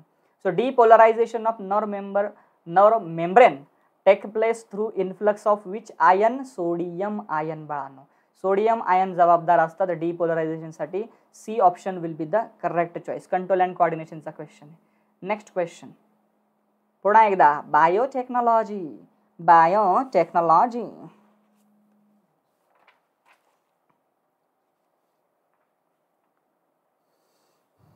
आपण सर्व क्वेश्चन पेपर सॉल्व्ह करणार आहे एम एस टी सी टीच्या बरोबर आहे? आता मी दोन हजार पंधराची तुम्हाला सॉल्व्ह करून दिलेली अगोदर. आता आज दोन हजार चौदाची सॉल्व्ह करतोय. पुढच्या वेळेस दोन हजार सोळाची करू मग सतरा मग अठरा मग एकोणावीस मग वीस आणि मग एकवीस. आपण एकवीसपर्यंत पण जाणार आहे. डोंट वरी ठीक आहे? So which of the following is use to promote growth of new blood vessels बाळांनो? ठीक आहे? नवीन ब्लड वेसल्स जर तुम्हाला बनवायचे आहेत ठीक आहे? की ज्या वुंड हेलिंगसाठी म्हणजे जखम भरून निघण्यासाठी मदत करणार आहे त्यासाठी तुम्हाला कुठला प्रॉडक्ट वापरावा लागेल? And that is nothing but the C option tissue growth factor बीचा असा लॉंग फॉर्म आहे त्याचा. काय लॉंग फॉर्म आहे? टिश्यू ग्रोथ ठीक आहे? फॅक्टर बीचा ओके हा वापरला जाणार बाळांना. राईट येस समजते सगळ्यांना? येस ॲब्सोल्युटली करेक्ट त्यानंतर ह्युमुलिन जे आहे बाळांनो हे ह्युमन इन्सुलिन आहे. डायबेटीससाठी टिश्यू प्लाझ्मिनोजन ॲक्टिवेटर याला म्हटलं जातं टी पी ए हे ब्लड क्लॉटिंग किंवा ब्लड क्लॉट बस्टरसाठी आहे. अल्फा वन अँटी ट्रिप्सिन हे इम्फिसिमासाठी आहे. आणि टिश्यू ग्रोथ फॅक्टर बीटा हे सांगितलं त्याप्रमाणे वुड नेलिंगसाठी नवीन ब्लड वेसलसाठी चलो नेक्स्ट क्वेश्चन श्वान सेलच्या बाबतीतलं करेक्ट स्टेटमेंट तुम्हाला ओळखायचं आहे. कंट्रोल अँड कोऑर्डिनेशनचा क्वेश्चन आहे. बघा बाळांनो दोन हजार चौदाची क्वेश्चन पेपर आहे बरं का. इथून मागे जवळपास नऊ वर्ष नऊ ने आठ वर्ष. ठीक आहे? तरी सुद्धा सिलेबस बघा. ऑलमोस्ट तुम्हाला सारखे सारखेच क्वेश्चन वाटतंय ना? तुमच्या सिलेबसमधलेच क्वेश्चन आहे. असे काही जास्त जुनं नाही. म्हणून तुम्हाला सांगायचं असं की सिलेबस इतका पण बदललेला नाही आहे जितका तुम्ही एक्सपेक्ट करताय. ठीक आहे? काही बदललेला आहे पण इतका नाही. M S T C T दोन हजार चौदामध्ये बायोलॉजीला नव्वदच क्वेश्चन आले होते. फिजिक्सला पंचेचाळीस होते केमिस्ट्रीला पंचेचाळीस होते आणि बायोलॉजीला नव्वद. म्हणजे टोटल एकशे ऐंशीवाला पेपर होता. म्हणजे एकशे ऐंशी क्वेश्चन पेपर पेपरमध्ये होते. आता मात्र तसं नाही आहे आता तुम्हाला फिजिक्स पन्नास केमिस्ट्री पन्नास आणि बायोलॉजी शंभर असं पी सी बीचा पेपर दोनशे मार्काचा येईल आणि दोनशे क्वेश्चन्स असतील. ठीक आहे? तर तुम्हाला करेक्ट स्टेटमेंट ओळखायचं आहे. रिगार्डिंग श्वान सेल्स तर बाळांनो हे करेक्ट स्टेटमेंट ए ऑप्शन आहे. Surround the axon of a myelinated nerve बघा ना बाळांनो हे अशा पद्धतीने न्यूरॉनची डायग्राम असते. बरोबर आहे? राईट आणि या डायग्राममध्ये हा खाली असतो एक्झॉन ठीक आहे? आणि या ॲक्झॉनमध्ये असतात या श्वान सेल्स या अशा पद्धतीने. ठीक आहे? राईट हा श्वान सेल आहे. ठीक आहे? या श्वान सेल आहे. आणि या श्वान सेलमध्ये बाळांनो इथे असतं ठीक आहे मायलिन शीत ही मायलिन शीत आहे. सो मायलिन शीत जर प्रेझेंट असेल तर याला म्हणतात मायलिनेटेड न्यूरॉन ठीक आहे? So this is myelin sheath so हा झाला मायलिनेटेड न्यूरॉन सो या मायलिन शीतने काय केलं? ॲक्झॉनला बाजूला गेलं. म्हणजे ॲक्झॉनच्या बाजूला आहे ना तो? Surrounding axon of myelinated nerve fibre एकदम बरोबर. आणि हे जे मायलिनेटेड नर्व फायबर असतात यांचा इम्पल्स कॅरी करण्याचा जो स्पीड असतो तो खूप जास्त असतो. फिफ्टी एस टू वन असतात. ठीक आहे? राईट क्लिअर समजलं सगळ्यांना? ओके सर मी गर्ल आहे. मनीष म्हणताय सर ती माझी आय डीमध्ये फॉल्ट झाला आहे. ओके थँक बरं बरं बरं. ठीक आहे. आता हे मला माहिती नव्हतं इतक्या डिटेलमध्ये तर सॉरी तुम्ही मुलगी आहात हे मला कळालं. हरकत नाही. तुम्ही मनीषा आहात का? बरं ठीक आहे. मनीषा काही प्रॉब्लेम नाही. ओके हरकत नाही. चला. पण चांगली गोष्ट आहे तुम्ही डेली टास्क कंप्लीट करताय. ठीक आहे? आता मला जे दिसणार तेच मी म्हणणार आहे ना. तुमचे जे नाव मला इथे दिसेल चॅटमध्ये तेच मी बोलेल ना. हरकत नाही चला काही प्रॉब्लेम नाही. एकदम बरोबर पूजा. हा थोडे कॉम्प्लिकेटेड क्वेश्चन आहे असं साक्षी म्हणताय. हो अगदी बरोबर. कॉम्प्लिकेटेड तर क्वेश्चन आहेतच. बघा हा क्वेश्चन कुठला आहे बाळांनो? हा क्वेश्चन आहे एक्सक्रिशन अँड ऑस्मो रेग्युलेशनचा कुठला क्वेश्चन आहे? एक्सक्रिशन अँड ऑस्मो रेग्युलेशन बरोबर ना? यामध्ये तुम्हाला करेक्ट मॅच ओळखायचा आहे कसला मॅच ओळखायचा आहे करेक्ट मॅच तुम्ही जर बघितलं तर बाउमन्स कॅप्सूल आणि नेफ्रॉनची डायग्राम तुम्ही जर बघितली तर नेफ्रॉनमध्ये बाउमन कॅप्सूल असतात वरच्या बाजूला आणि खालच्या बाजूला ट्युबल्स म्हणजे ट्यूब्स असतात किंवा त्याला ट्युबल्स म्हणतात. ठीक आहे? Proximal convoluted tubule distal convoluted tubule loop of Henle collecting tubules हे सगळे तुम्हाला दिलेलं आहे. तुम्हाला याच्यामध्ये करेक्ट मॅच ओळखायचा आणि इथे करेक्ट मॅच जो दिलेला आहे तो फक्त सी ऑप्शन आहे म्हणजे फर्स्ट पहिलावाला मॅच करेक्ट आहे बाकीचे मॅच हे चुकीचे आहेत. राईट ओके सो तुम्हाला मी एक्सक्रेशन ऑस्मो रेग्युलेशन शिकवणारच आहे सेपरेटली शिकवणार आहे. आता जरी तुम्हाला नाही जमला तरी काही हरकत नाही. डी सी टी जो असतो बाळांनो हा डी सी टी काय करतो? सिक्रिशन करतो. याचे प्लस आयन आणि के प्लस आयनचं ठीक आहे? सो ट्युब्युलर सिक्रिशन ही स्टेप तिथे होत असते. कोणते स्टेप होत असते? ट्युब्युलर सिक्रिशन युरिन फॉर्मेशनमध्ये तीन स्टेप असतात. पहिली स्टेप असते अल्ट्रा फिल्टरेशन दुसरी स्टेप असते सिलेक्टिव्ह रिॲब्झॉर्प्शन आणि तिसरी स्टेप असते ट्युब्युलर सिक्रिशन ही डी सी टीमध्ये होते. हरकत नाही तुम्हाला नाही जमली तरी काही प्रॉब्लेम नाही. आता हा तर जमला पाहिजे. Diurnal rhythms are regulated by control and coordination पुन्हा एकदा. ठीक आहे? आणि सगळ्यांना माहिती आहे. ठीक आहे? डे नाईट पॅटर्न जो असतो स्लिपिंग बिहेवियर असतो मेटाबॉलिक ॲक्टिव्हिटी असतील रिप्रोडक्टिव्ह बिहेवियर असेल हे सगळं कोण मेंटेन करतं? माझ्याकडे नका बघू. कोण येतं? अरे मेलाटोनिन येतो. कोण आहे बाळांनो? मेलाटोनिन ठीक आहे? सो डाय अर्धिन याच्यावरून लक्षात ठेवायचं. मेला शब्द बघा याच्यामध्ये. मेला म्हणजे मेला. मराठीमध्ये मेला म्हणजे काय? मेला म्हणजे एक्सपायर झाला. सो हा हॉर्मोन जर नाही झाला तयार तर तुम्ही मेला. मेला म्हणजे तुम्हाला झोप नाही येणार. झोप नाही आली म्हणजे आपण नेहमी जागच राहणार नाही आपण जर झोपलोच नाही तर मग एक वेळ येणार जेव्हा आपण मेला होणार. मेला म्हणजे एक्सपायर होणार. ठीक आहे? सो डाय अर्नल रिदम ठीक आहे? डे नाईट जो काही पॅटर्न असतो आपला की झोपणार कधी उठणार कधी या सगळ्या गोष्टी तो कंट्रोल करतो म्हणजे मेलाटोनिन करतो. पिनियल ग्लँड माहिती आहे ना? हां बस लक्षात ठेवायचं. चलो next D N A fingerprinting टेक्निकमध्ये टिंब प्रोब हा यूज केला जातो hybridisation of D N A फ्रॅगमेंटसाठी so fourth नंबरचा chapter molecular basis of inheritance चॅप्टरमधला question आहे. डी एन ए फिंगरप्रिंटिंग बोला कायमचे झोपणार? एकदम बरोबर आहे. बोला. काय क्वेश्चनचं उत्तर आहे? एकदम बरोबर बाळांनो. सो याच्यामध्ये single stranded radioactive D N A use केला जातो. ठीक आहे? कोणत्या स्टेपमध्ये हायब्रिडायझेशनमध्ये समजलं सगळ्यांना? हायब्रिडायझेशनमध्ये so C option will be the correct choice बच्चा पार्टी. सी ऑप्शन करेक्ट आहे. तुम्ही सगळ्यांनी त्या डी एन ए फिंगरप्रिंटिंगच्या स्टेप्स वाचलेले आहेत का? वाचा बरं का सगळ्यांनी. आयसोलेशन त्यानंतर त्याला आपण काय करतो? कटिंग करतो म्हणजे फ्रॅगमेंटेशन त्याच्यानंतर मग आर एफ एल पी वगैरे है ना? त्या सगळ्या स्टेप्स वाचायचे आहे तुम्ही. हायब्रिडायझेशन ही एक स्टेप आहे त्याच्यामध्ये. चलो next nodal tissue located in the lower left corner of the right atrium is oh my god heart तुम्हाला सगळ्यांना माहिती आहे? हा हार्ट असा असतो. है ना? आपण एवढाच काढतो. पण तो असा असतो. ठीक आहे? माझ्याकडून थोडा कुपोषित झाला हार्ट पण ठीक आहे हरकत नाही. So this is a left atrium this is a left ventricle this is a right atrium and this is a right ventricle काय म्हणणं आहे त्यांचं? Lower left corner of the right atrium so हा राईट ॲट्रियम त्याचा lower left corner म्हणजे या बाजूला बरोबर? लोअर लेफ्ट कॉर्नर म्हणजे या बाजूला. सो या बाजूला कोण असतं? या बाजूला असतो A V node atrioventricular node S A node इथे असतो. ठीक आहे? So this is S A node this is S A node ठीक आहे? बरोबर? या ठिकाणी बंडल ऑफ हीज ठीक आहे?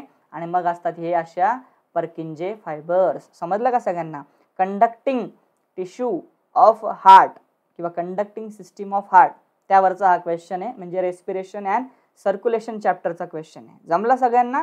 So B will be the correct choice next question reproduction in lower and higher ॲनिमल्समधला question आहे हा. Second चंबरचा chapter sir molecular basis of inheritance हा चॅप्टर घ्या ना. हो मी घेणारच आहे वेदांत. आपण सर्व चॅप्टर घेणार आहे बाळांनो. फक्त फरक एवढाच आहे काही चॅप्टर लवकर होतील काही चॅप्टर थोडे उशिरा होतील.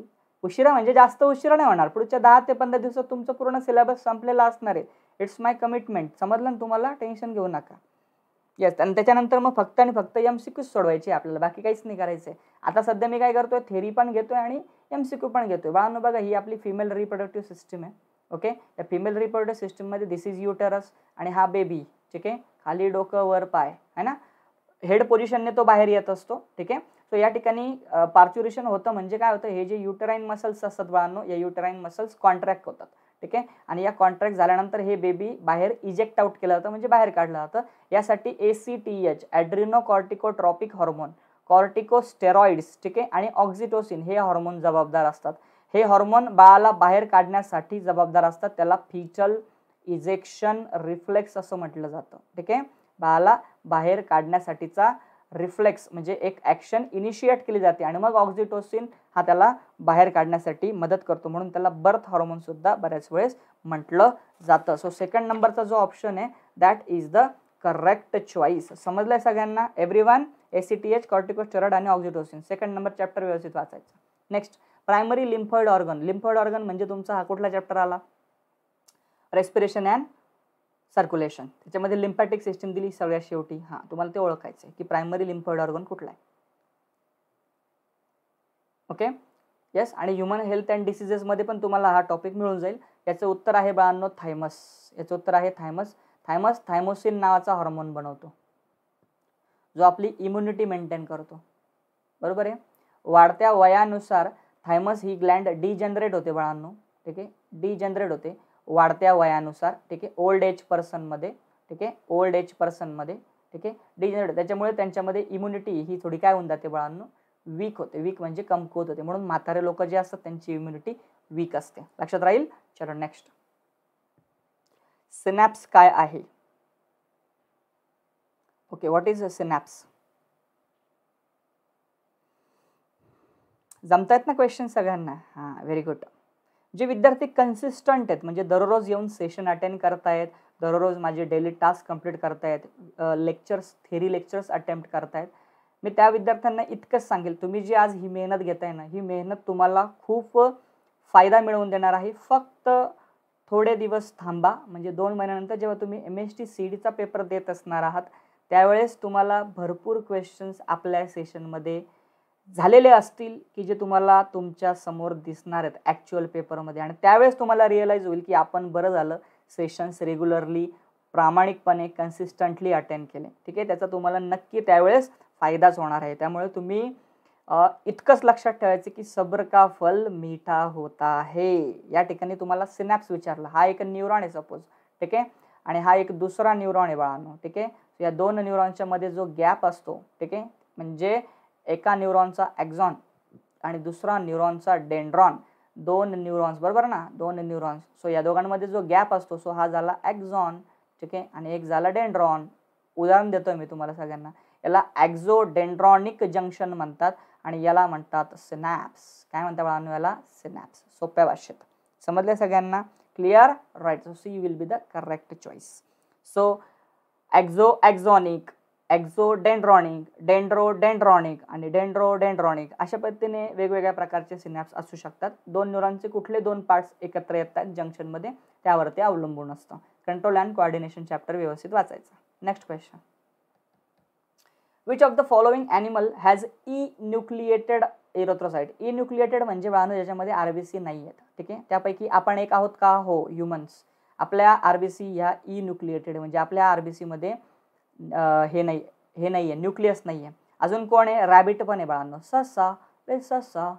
ठीक आहे माहिती आहे सगळ्यांना? रॅबिटमध्ये पण न्यूक्लियस नाही आहे आर बी सीमध्ये बोलतो आहे आम्ही. आणि त्याच्या व्यतिरिक्त आहे रॅट उंदीर मामा डी ऑप्शन. ठीक आहे? सो तुम्ही जर बघितलं ओके कधी होणार सक्सेस सर सक्सेस असं सांगून नाही येत वेदांत. ठीक आहे? सक्सेस हे ऑटोमॅटिक येत असतं. सांगून नाही येत ते असं. ऑटोमॅटिक येतं म्हणजे त्यासाठी एफर्ट्स ते वाढ बघत असतं. की मी कोणाकडे जाऊ कोणाकडे नको जाऊ. म्हणजे याने खरंच मेहनत घेतलेली असते एफर्ट्स घेतलेले असते. त्याच्यामध्ये त्याच्याकडे ते ऑटोमॅटिक येतं. ठीक आहे? तुम्हाला सांगून नाही येत सक्सेस चलो ग्रेट क्लिअर समजले सगळ्यांना? Rat is the correct choice next question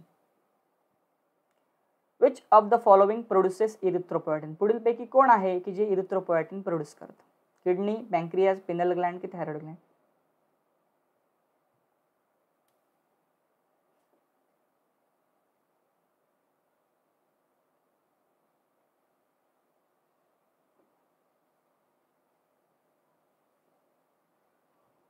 okay बघा. सो याचं उत्तर काय आहे बाळांनो? किडनी. किडनी ही खूप सारे हॉर्मोन बनवते. रेनिन ठीक आहे? इरिथ्रोपोएटिन जो तुम्हाला क्वेश्चनमध्ये दिलेला आहे तो आणि त्याच्या व्यतिरिक्त कॅल्सीट्रायोल ठीक आहे? कॅल्सी ट्रायोल काय आहे? ॲक्टिव्ह फॉर्म आहे व्हिटॅमिन डी थ्रीचा बरोबर? व्हिटॅमिन डी थ्रीचा रेणीन काय करतं? रेनिन अँजिओटेन्सिन सिस्टीम आपल्या बॉडीमध्ये वर्कआउट होते की जी ब्लड प्रेशर मेंटेनन्ससाठी गरजेची असते. इरिथ्रोपोएटिन काय करतं? इरिथ्रोपोएटिन इरिथ्रोपोयासिस करतं. बरोबर आहे? आणि हे इरिथ्रोपोयासिस गरजेचं असतं आरबीसी फॉर्मेशनसाठी म्हणजे आरबीसी तयार होण्यासाठी. पॅनक्रियाजमध्ये दोन पॅनक्रियाज आहे एक्झोक्राईन आणि एंडोक्राईन ठीक आहे? एक्झोक्राईन पॅनक्रियाज पॅनक्रियाटिक ज्यूस बनवतं. एंडोक्राईन जो पॅनक्रियाज त्याच्यामध्ये सेल्स असतात alpha cell beta cell delta cell आणि गॅमा सेल्स ठीक आहे? गॅमा सेल्स बरोबर आहे? अल्फा बनवतं ग्लुकॅगॉन बीटा बनवतं इन्सुलिन डेल्टा बनवतं सोमॅटोस्टॅटिन आणि हे बनवतं पॅनक्रिओझायमिन पी झेड ज्याला म्हटलं जातं. त्यानंतर बाळानं तुम्ही जर बघितलं तर पिनियल ग्लँड मी आत्ताच सांगितलं मेला टोनिन ठीक आहे? मेलाटोनिन की जो बायोलॉजिकल रिदम असेल डायर्नल रिदम ज्याला म्हटलं जातं रिप्रोडक्शन स्लिपिंग बिहेवियर या सगळ्या गोष्टी मेंटेन करतं.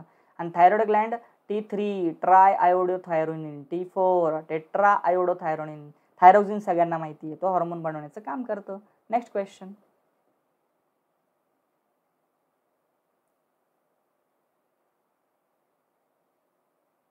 ओके मोनिका म्हणतायत तुम्ही बोलल्यानंतर करेज मिळतं पॉझिटिव्हिटी येते.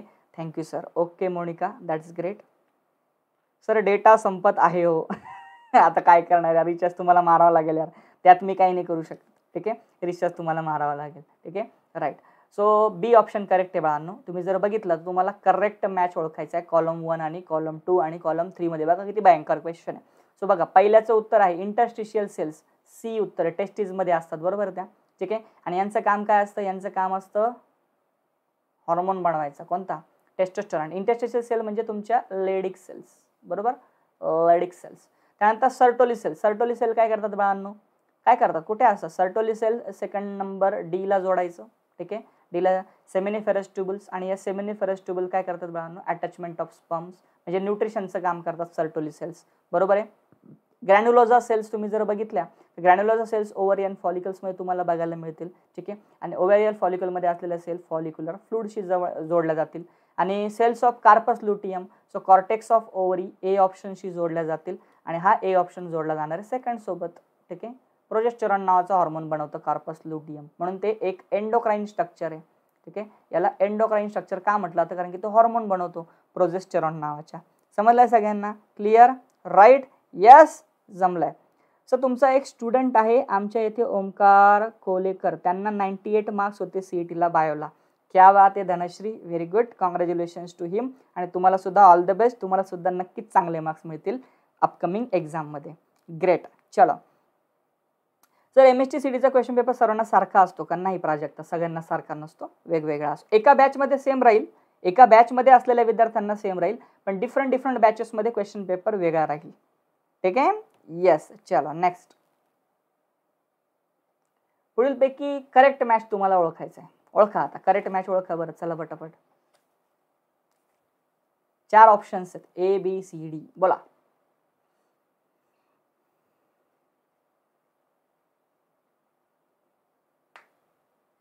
एक मोबाईलचा डेटा संपला तर दुसरा मोबाईल घ्या. दुसरा मोबाईल घ्यायची गरज नाही. एका मोबाईलमध्ये दोन सिम कार्ड असले तरी चालतं की. नेहा ठीक आहे? राईट आज किती वेळ लेक्चर आहे? क्वेश्चन संपेपर्यंत क्वेश्चन संपले की मी शांत बसेल. क्वेश्चन नाही संपले तर मी नाही शांत बसणार. ठीक आहे? तर थॅलेसेमिया काय बाळांना? ऑटोझोमल डिसऑर्डर याच्यामध्ये ऑप्शन ॲनेमिया आणि जॉन्डिस फार खाली दिला येतो ठीक आहे? डाऊन सिंड्रोम काय आहे? ट्वेंटी फर्स्ट ट्रायसोमी आहे ना? एकवीस नंबरला पेअरच्या ऐवजी तीन क्रोमोझोम असतात. टर्नर सिंड्रोम फिमेल्समध्ये असतो क्रोमोझोम कमी असतो त्याला एक्स मोनोसोमी म्हणतात. एक्स मोनोसोमी म्हणतात ठीक आहे? सगळ्या पेअर चुकीची आहे. पहिली चुकीची आहे दुसरी चुकीची आहे तिसरी चुकीची. चौथी बघा. क्लाइन फेल्टर सिंड्रोम बघा चौवेचाळीस ऑटोझोम दिले बरोबर आहे? आणि क्लाइन फिल्टरचं स्पेलिंग बघा सगळ्यात मोठं आहे त्याच्यामध्ये क्रोमोझोम पण एक्स्ट्रा असतो. एक्स क्रोमोझोम एक्स्ट्रा असतो ठीक आहे? आणि मोठे कोण असतात? मेल असतात. म्हणजे हा मेलमधला प्रॉब्लेम आहे. सो मेल टॉल असतात थीन असतात आणि युनिक्वाईड असतात. स्टराईल असतात ते बरोबर? स्पर्मॅटोजेनेसिस त्यांच्यामध्ये अपसेंट असतं एकदम बरोबर. D option will be the correct choice जमलाय? Next question तुम्ही थकणार पण मी नाही थकणार. पूर्ण क्वेश्चन्स घेणार आपण. ठीक आहे? राईट कंटाळा करून कसं चालेल? कुछ पाने के लिए बहुत कुछ खोना पडता आहे त्यात तुमचा मोबाईलचा डेटा पण येणार. Which is correct regarding genetically engineered insulin using E coli आहे बोला. बोला काय करेक्ट आहे? ठीक आहे? चलो बोला काय येणार करेक्ट आन्सर बाळांनो? तुम्हाला काय विचारलं? इन्सुलिनच्या बाबतीतलं करेक्ट स्टेटमेंट तुम्हाला ओळखायचं आहे so obtain in a large unlimited quantity बरोबर ना? E. ई कोलाईच्या मदतीने तुम्ही इन्सुलिन लार्ज अनलिमिटेड क्वांटिटीमध्ये बनवू शकता. आधी काय व्हायचं? जे डॉग्स होते ठीक आहे? तर त्यांच्या डॉग्स पिग्स कुत्रे डुकरं जे होते त्यांचे पॅनक्रियाजमधून हे जे आहे काय म्हणूया इन्सुलिन काय केलं जायचं बाळांनो? एक्स्ट्रॅक्ट करून काढलं जायचं. त्याला लिमिटेशन होतं. किती कुत्रे मारणार नाही का? किती डुक्कर मारणार? आता डुक्कर आणि कुत्रे नाहीसे होऊन गेले असे जर आपण तेच कंटिन्यू ठेवलं असतं. तर बायोटेक्नॉलॉजीच्या मदतीने इन्सुलिन हे प्रोड्यूस केलं जातं इकोलाय बॅक्टेरियाचा यूज करून आणि ते पण लार्ज आणि अनलिमिटेड क्वांटिटीजमध्ये हा पहिला फायदा. दुसरा फायदा पहिले अगोदर डॉग्स आणि पिग्समधून आपण इन्सुलिन घ्यायचो. तर त्यांच्याकडे जर काही इन्फेक्शन असेल म्हणजे त्यांना काही डिसीज असतील तर ते डिसीज आपल्याकडे आपल्याला होऊ शकतात. म्हणजे ॲनिमल डिसीजेस ह्युमन्समध्ये ट्रान्सफर होण्याचा धोका होता. आता तोही राहिलेला नाही आहे ठीक आहे? आणि बॅक्टेरिया असल्या कारणामुळे काही विषयच नाही आहे ठीक आहे? सो आणि तिसरी गोष्ट ते इन्सुलिन प्युरिफाय केलं करावं लागायचं ठीक आहे? आणि ते ॲनिमल्सकडून आलेलं इन्सुलिन होतं. त्याच्यामुळे आता तो काही विषयच नाही आहे बायोटेक्नॉलॉजीने आपल्याला मदत केलेली आहे. सो जय बायोटेक्नॉलॉजी चलो next question excretion and osmoregulation.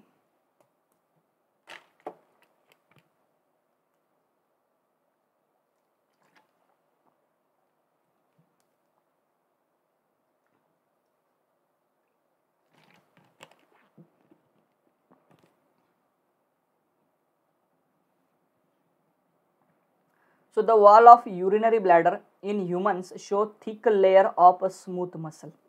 बाळांनो याचं उत्तर आहे detrusor. Okay? Urinary bladder माहिती ना सगळ्यांना? मूत्राशय ज्याला म्हटलं जातं जिथे मूत्र आशय घेतं. मराठी शब्द फार चमत्कारिक असतात ठीक आहे? हरकत नाही. युरिनरी ब्लॅडर हे पियर शेप स्ट्रक्चर असतं ठीक आहे? मसल्सपासून बनलेलं असतं. डिस्टेन्शन ते होऊ शकतं ठीक आहे? आणि हे जे स्ट्रक्चर असतं तर बानो हे बनलेलं आहे स्मूथ मसलपासून आणि त्याचं नाव आहे डेट्रुसर मसल. क्लिअर? ओके चलो नेक्स्ट क्वेश्चन. तुम्हाला करेक्ट मॅच ओळखायचं आहे.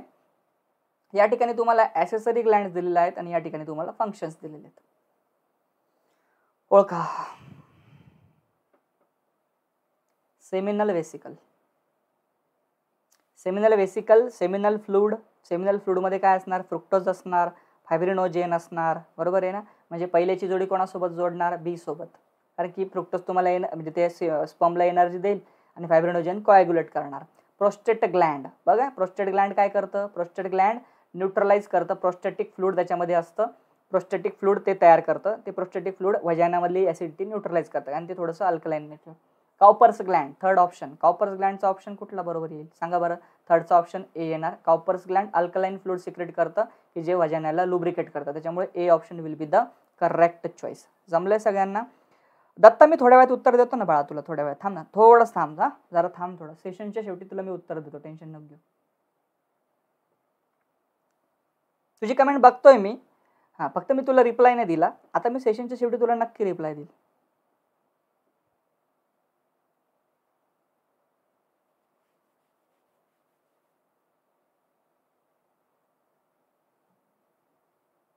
तो technique use to block the passage of sperm in male मेलमध्ये विचारले बाळांनो अँड दॅट इज व्हॅसेक्टॉमी कारण की मेलमध्ये व्हॅस डिफरन्स असतो. काय असतो बाळांनो? व्हॅस डिफरन्स असतो. की ज्याला कट केलं जातं आणि टाय केलं जातं. बरोबर आहे? राईट व्यास डिफरन्स आणि फिमेलमध्ये तुम्ही जर बघितलं तर फेलोपियन ट्यूब असते बाळांनो. फेलोपियन ट्यूब असते. ट्यूबवरून लक्षात ठेवायचं ट्युबेक्टॉमी व्यासवरून लक्षात ठेवायचं व्हॅसेक्टॉमी सो मेलमध्ये व्हॅसेक्टॉमी फिमेलमध्ये ट्युबेक्टॉमी बाकी यात रिदम मेथड आणि क्वायटस इंटरप्टस या नॅचरल मेथड आहे. आज सकाळीच मी एक क्वीज घेतलं होतं अन अकॅडमीवरती जे की दहा वाजता. फ्री क्वीज होतं सगळ्यांसाठी ते. तुम्ही दहा वाजता माझे सकाळी लेक्चर्स करू शकता अन अकॅडमीला ते फ्री लेक्चर्स असतात. त्याच्यामध्ये हाच क्वेश्चन मी दिलेला होता. ठीक आहे सेम क्वेश्चन होतं. जे मुलं सकाळी त्यांना कदाचित माहिती असेल. चला पुढे जाऊया. Next question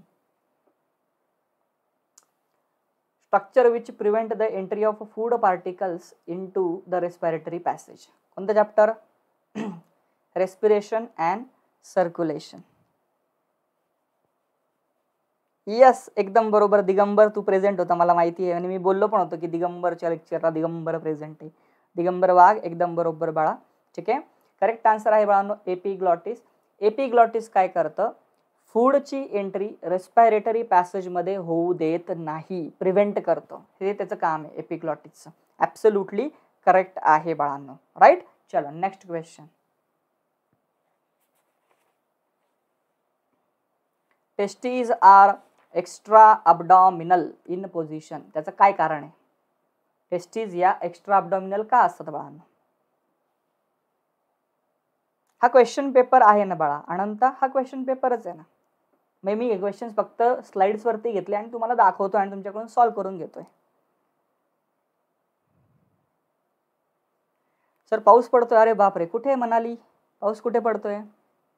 म्हणून तुमच्याकडे इंटरनेटचा प्रॉब्लेम आहे. हां तुम्ही हे कुठे सांगितलं की सर लॅग येतोय? इंटरनेटचा प्रॉब्लेम तुमच्याकडे का आहे? कारण की तुमच्याकडे पाऊस पडतोय.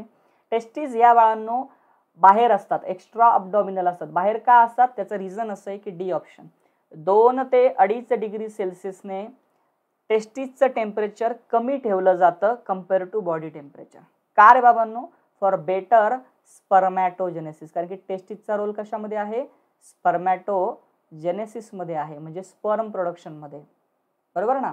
So D will be the correct choice समजलं सगळ्यांना? सोलापूरला पाऊस पडतोय. अरे बापरे! चला next malignant malaria oh my god फारच गंभीर असतो हा. याच्यामध्ये सेरेब्रल इशेमिया होतो ठीक आहे? आणि याच्यामध्ये व्यक्तीची डेथ होऊ शकते. कोणता येतो असा भयंकर मलेरिया कोणता आहे? डेंजरस व्यक्तीची डेथ होऊ शकते. Okay right absolutely correct Plasmodium falciparum लक्षात ठेवा बाळांनो. हा फार भयंकर असतो. ठीक आहे इतका भयंकर असून डायरेक्ट बारा वाजता व्यक्तीचे याचा इन्क्युबेशन पिरियड बारा दिवसांचा आहे. ट्वेल्व डेज ठीक आहे ट्वेल्व डेज त्याची ट्रिक लक्षात ठेवा. ट्वेल्व डेज बारा वाजता माणसाचे एक्सपायर होतो माणूस.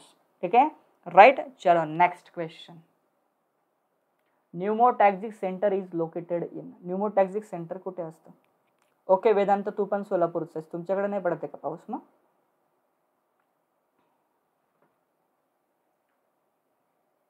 न्यूमोटॅक्झिक सेंटर म्हणजे रेस्पिरेशन सर्क्युलेशनचा क्वेश्चन आहे हा.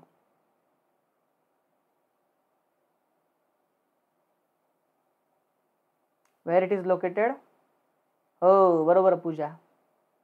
ठीक आहे? Yes where it is located it is located in the pons it is located in the pons pons varolii hind ब्रेनचा part आहे. त्या ठिकाणी तुम्हाला न्यूमोटॉक्झिक सेंटर बघायला मिळेल. Clear yes next question in case of a couple where a man is having very low sperm count एक couple आहे त्यामध्ये जो पुरुष आहे म्हणजे मॅन आहे त्याचा स्पर्म काउंट कमी आहे त्याला ऑलिगोस्पर्मिया म्हणतात बाळांनो. पुढीलपैकी कुठली टेक्निक त्यांना सुटेबल असेल फर्टिलायझेशनसाठी त्यांना जर काय म्हणूया आपण त्या फिमेलला कन्सिव्ह व्हायचं असेल आणि त्यांना जर अपत्य हवं असेल तर ती कुठली टेक्निक त्यांनी फॉलो करायला पाहिजे? की जी बेस्ट सुटेबल टेक्निक असेल त्यांना? ओके असं तुम्हाला विचारलं आहे so reproduction in lower and higher ॲनिमलचा हा क्वेश्चन आहे. पिराजी म्हणतो फास्ट एक्सप्लेन करा. आता हे आता फास्ट किती एक्सप्लेन करू बाबा? जितकं तुम्हाला समजेल त्या स्पीडनेच एक्सप्लेन करेल ना मी. सो या यासाठी आर्टिफिशियल इनसेमिनेशन ही टेक्निक बेस्ट असेल. कारण की लो स्पम काउंट आहे. मग त्या केसमध्ये काय केलं जाईल? मेलकडून सिमेन जे आहे हे फिमेलच्या वजायनामध्ये ड्रॉप केलं जाईल. याला आर्टिफिशियल इनसेमिनेशन म्हणतात. आणि स्पम काउंट कमी आहे. ओके? स्पम काउंट कमी आहे. जमलाय सगळ्यांना क्वेश्चन नक्की राईट चला पुढे जाऊया. सो बच्चा पार्टी तुम्ही बघितलं का? या ठिकाणी मी काय लिहिलं आहे ही जरा एकदा लाईन सगळ्यांनी वाचून घ्या. ठीक आहे? तोपर्यंत मी काही सांगतो ते बघा. नवीन विद्यार्थी जे असतील हा माझा व्हॉट्सअप नंबर आहे. हा सेव्ह करून घ्या तुमच्या मोबाईलमध्ये आणि मला जस्ट हाय म्हणा. ठीक आहे? तुम्हाला एक ऑटोमॅटिक मॅसेज येऊन जाईल. त्यासोबतच तुम्हाला आपलं चॅनल सबस्क्राईब करून घ्यायचं आहे आणि फॉलो पण करायचं आहे एम एस टी सी टीला चांगले मार्क्स मिळवण्यासाठी. डिस्क्रिप्शनमध्ये टेलिग्राम ग्रुपची आणि चॅनलची लिंक दिली त्याला जॉईन करून घ्यायचं. म्हणजे तुम्हाला मी इतकं सगळं प्रोव्हाइड करू शकेल ओके आणि इन्स्टाला तुम्ही मला फॉलो करू शकता. आता याच्या पुढचे जे क्वेश्चन्स आहेत ऑलमोस्ट पस्तीस का चाळीस क्वेश्चन्स आहेत. ते क्वेश्चन्स आहेत माझ्याकडे पण तुम्ही जर बघितलं ठीक? आहे तर याच्यामध्ये एक मोठी नोट तुम्हाला दिलेली बघा जरा एकदा बघा काय काय दिलेलं आहे बघा बरं जरा. Now all remaining questions belong to old syllabus बाकी उरलेले सर्व क्वेश्चन्स हे ओल्ड सिलॅबसचे आहेत. Question paper and answer key is provided on Telegram group याची क्वेश्चन पेपर आणि आन्सर की मी तुम्हाला टेलिग्राम ग्रुपला प्रोव्हाइड करणार आहे. ओके तुम्ही क्वेश्चन्स मी टाईप केलेले आहेत ते ठीक आहे? बघा तुम्ही तुम्हाला जर बघू शकता. हे काही जे क्वेश्चन्स आहेत हे क्वेश्चन्स ओल्ड सिलेबसचे क्वेश्चन्स आहेत. ठीक आहे? माझ्याकडे आहेत मी तुम्हाला दाखवतो. ठीक आहे? एकच मिनटं. I can show you just a minute झाला बघा. या ठिकाणी बघा पंचावन्नची स्लाईड दिसते तुम्हाला ही फिफ्टी फाय नंबरची स्लाईड त्याच्या पुढे बघा आपण इथपर्यंत. म्हणजे सर्व क्वेश्चन्स मी टाईप केलेले पण ते सगळे ओल्ड सिलेबसचे क्वेश्चन आहे. ते घेऊन काही उपयोग नाही आहे कारण ते तुमच्या सिलेबसमध्ये नाही आहे विनाकारण तुमचा टाइमपास होईल. त्यामुळे दोन हजार बावीसचे विद्यार्थी हे आत्ता जेवढे मी क्वेश्चन्स तुम्हाला दिले ठीक आहे किंवा जेवढे तुमच्याकडून सॉल्व्ह करून घेतले तेवढे इनफ आहे. कारण की ही क्वेश्चन पेपर दोन हजार चौदाची बाळांनो. टू थाउजंड फोर्टीनची क्वेश्चन पेपर्स आहे. त्यामुळे तुम्हाला काय म्हणूया आपण पुढचे क्वेश्चन्स जे ओल्ड सिलेबसचे क्वेश्चन आहे ते सॉल्व्ह करून काही उपयोग नाही. त्यावेळेस सिलेबस वेगळा होता. समजा सगळ्यांना? राईट ठीक आहे. आता तुमचे काही क्वेश्चन दत्ताचा क्वेश्चन केव्हाचा येत होता? दत्ता आहे का बाळा तू? तो म्हणत होता की sir M S T C E T exam postpone होईल का? हे बघ Datta. M S T C E T ही परीक्षा पोस्टपोन होईल का नाही होणार? याच्यावरती मी एक व्हिडिओ बनवलेला होता. बरोबर आहे? कारण की जे डबल ई एक्झाम पोस्टपोन झाली. त्यामुळे ती एक्झाम आपल्या पी सी बी ग्रुपच्या एक्झामसोबत ओव्हरलॅप होते. त्याच्यामुळे हा निर्णय कोण घेईल? सी ई टी सेल घेईल. सो तो निर्णय जेव्हा येईल तेव्हा मी तुला सांगेल ना. आता तुझ्या हातात काय आहे? तर अभ्यास करणं. तेवढा कर. बाकी रिकामं टेन्शन घेऊ नको. ठीक आहे? शिवानी म्हणताय कालचा व्लॉग मस्त. Thank you Shivani. Respiration and circulation घ्या. बरं अजय. ठीक आहे आपण घेऊया टेन्शन घेऊ नका. वेदांत म्हणताय सर तुमची डॉटर क्यूट आहे. Thank you Vedant. ओके पाऊस खूप पडतोय. बरं ठीक आहे घराच्या बाहेर नका निघू. पिराजी म्हणतो काहीच झालं नाही. असं कसं का काहीच झालं नाही पिराजी? अभ्यास करावा लागेल की? ठीक आहे तुझी आधीची कमेंट कुठली? मला माहीत नाही. ठीक आहे. एक रिक्वेस्ट छोटीशी तुम्हाला. ठीक आहे की तुमच्या इतर मित्रमैत्रिणींना आपलं चॅनल नक्की शेअर करा. त्यांना सांगा की चॅनलला रेग्युलर या फॉलो करा. जितके जास्त विद्यार्थी असतील तितका हुरूप वाढतो आपला सगळ्यांचा आणि छान प्रिपरेशन होतं. सर तुम्ही खूप छान शिकवता. थँक्यू रमेश. थँक्यू पिराजी तुला अभ्यास करावा लागेल त्याला. फिजिक्सचं इतकं टेन्शन घेऊन नाही चालणार. तुम्हाला अभ्यास करावा लागेल त्याला. ठीक आहे? ओके पी डी एफ द्या क्वेश्चनचं बरं मी टेलिग्राम ग्रुपला काय म्हणालो? इथं तू वाचलं का जरा एकदा? काय दिलं? टेलिग्राम ग्रुपला देऊन दिलं. हो मी तुमच्यासाठी खूप मेहनत घेतोय. ही गोष्ट खरी आहे शिवानी. शिवानी जे म्हणते की सर तुम्ही खूप मेहनत घेतोय. तुमच्यासाठी खरंच मी खूप मेहनत घेतोय. ठीक आहे? मी दोन हजार वीसला पण मुलांना खूप मेहनत करून पूर्ण एम एस टी सी टीचं कंटेंट प्रोव्हाइड केलं होतं दोन हजार वीसला ठीक आहे? ज्यावेळेस पहिल्यांदा लॉकडाऊन लागला होता. दोन हजार एकवीसला पण दिलं. आणि आता दोन हजार बावीसला पण पूर्ण कंटेंट देतो आहे आणि लाईव्ह घेतोय. मी पहिल्यांदा इतकं लाईव्ह सेशन्स घेतो आहे कोणासाठी तरी. ठीक आहे? याच्या अगोदर दोन हजार वीसला आणि एकवीसला मी रेकॉर्डेड सेशन्स दिले होते. पण पहिल्यांदा दोन हजार बावीससाठी म्हणजे तुमच्यासाठी मी एक रेग्युलर शेड्यूल बनवून लाईव्ह सेशन्स घेतो आहे ठीक आहे? सो हे मला पण खूप भारी वाटतंय फर्स्ट टाइम मी लाईव्ह काहीतरी घेतो आहे आणि तुम्ही सुद्धा येत आहेत ते छान वाटतंय मला. सो तुम्ही जेवढे उत्साह दाखवत आहेत तेवढा उत्साह माझा वाढत चालला आहे आणि नक्कीच मी तुमच्यासाठी अजून भरपूर नवीन नवीन गोष्टी प्लॅन केल्या आहेत मागच्या वर्षी मी एक सेपरेट कोर्स घेतला होता बायोबुस्टर नावाने. पण तसं मी यावर्षी काही घेतलं नाही. यावर्षी म्हटलं चला आपण फ्रीमध्ये कंटेंट मुलांना देऊया. मागच्या वर्षी तो कोर्स मात्र पेड होता. Thank you Bhushan. Thank you okay Shivani तुम्ही अकरावीपासून बघताय. Okay okay okay okay right ठीक आहे? येस एक्झाम सेंटर चेंज कसं करायचं असं? नाही बाळा आता तू फॉर्म भरला तर एकदा चेंज कसं होईल ते? ठीक आहे? सकाळी दहा वाजता असतं बाळा अजय. रेग्युलर सकाळी दहा वाजता असतं. प्रतीक्षा मी अकरावीचे चॅप्टर पण घेणार आहे पण अगोदर मी बारावीचे चॅप्टर सगळे संपवणार आहे आणि मग अकरावीचे चॅप्टर घेणार आहे. नामदेव मी घेत नाही बाळा तसं सेपरेट ठीक आहे? नीटचं मी सध्या काही घेत नाही तुम्हाला या लेक्चर्समधून काही फायदा होत असेल नीटसाठी तर तुम्ही करू शकता. ओके नितीन क्या बात आहे. थँक्यू व्हेरी मच हो हो दुर्गेश. बरोबर बाळा. त्र्यंबकेश्वर रोडला. Thank you Vrushali. Thank you Ramesh Dhobale मी याच्यावरती एक व्हिडिओ बनवलेला आहे बाळा की एम एस टी सी टीला कोणते बुक्स तुम्ही वापरले पाहिजे. तू प्लेलिस्टमध्ये जाय ना माझ्या चॅनलच्या तुला भेटून जाईल. कल्पना नसतील कदाचित त्याच्यामध्ये. ठीक आहे? कल्पना तुमच्या प्रश्नाचं उत्तर नाही आहे हो हो मी डेली घेणार आहे. तुमचं M S T C T परीक्षा जूनला जेव्हा होईल ठीक आहे? तोपर्यंत माझे सेशन्स रेग्युलरली असणार आहे लाईव्ह तुम्ही फक्त रेग्युलरली येत चला. कंटाळा तुम्ही करू नका. मी तर काही करणार नाही मला तर यावंच लागणार आहे. ठीक आहे? तुमच्या सगळ्यांसाठी मी एकटा आहे पण माझ्यासाठी तुम्ही सगळे आहात. तुम्ही कंटाळा केला तर तुम्हाला ते चालून जाईल. पण ते तुमच्यासाठी त्रासदायक आहे. तुमच्यासाठी धोकेदायक आहे. त्याच्यामुळे कंटाळा करू नका. रेग्युलरली प्रेझेंट राहा. ठीक आहे? मी विचार करतो उद्या कोणता चॅप्टर घ्यायचा. ठीक आहे? आणि मग तो सुरू करतो. अवघड आहे अजय बरं का बाळा? हो हो रितेश नक्की घेणार आहे बाळा टेन्शन नको घेऊ. दिगंबर वाघ मी ठरवतो कुठला चॅप्टर घ्यायचा आणि तो घेऊया आपण. ठीक आहे? राईट चलो आता मला सगळ्यांची रजा घ्यावी लागेल. भरपूर वेळ झाला का आज सेशनला हो आज भरपूर वेळ चाललं सेशन ठीक आहे? राईट केमिस्ट्रीसाठी तुम्ही गुणवंत माळी सरांना फॉलो करा. केमिस्ट्री बाय गुणवंत माळी असं यूट्यूब चॅनलला सर्च करा. मी काल लिंक शेअर पण केली होती तुम्हाला.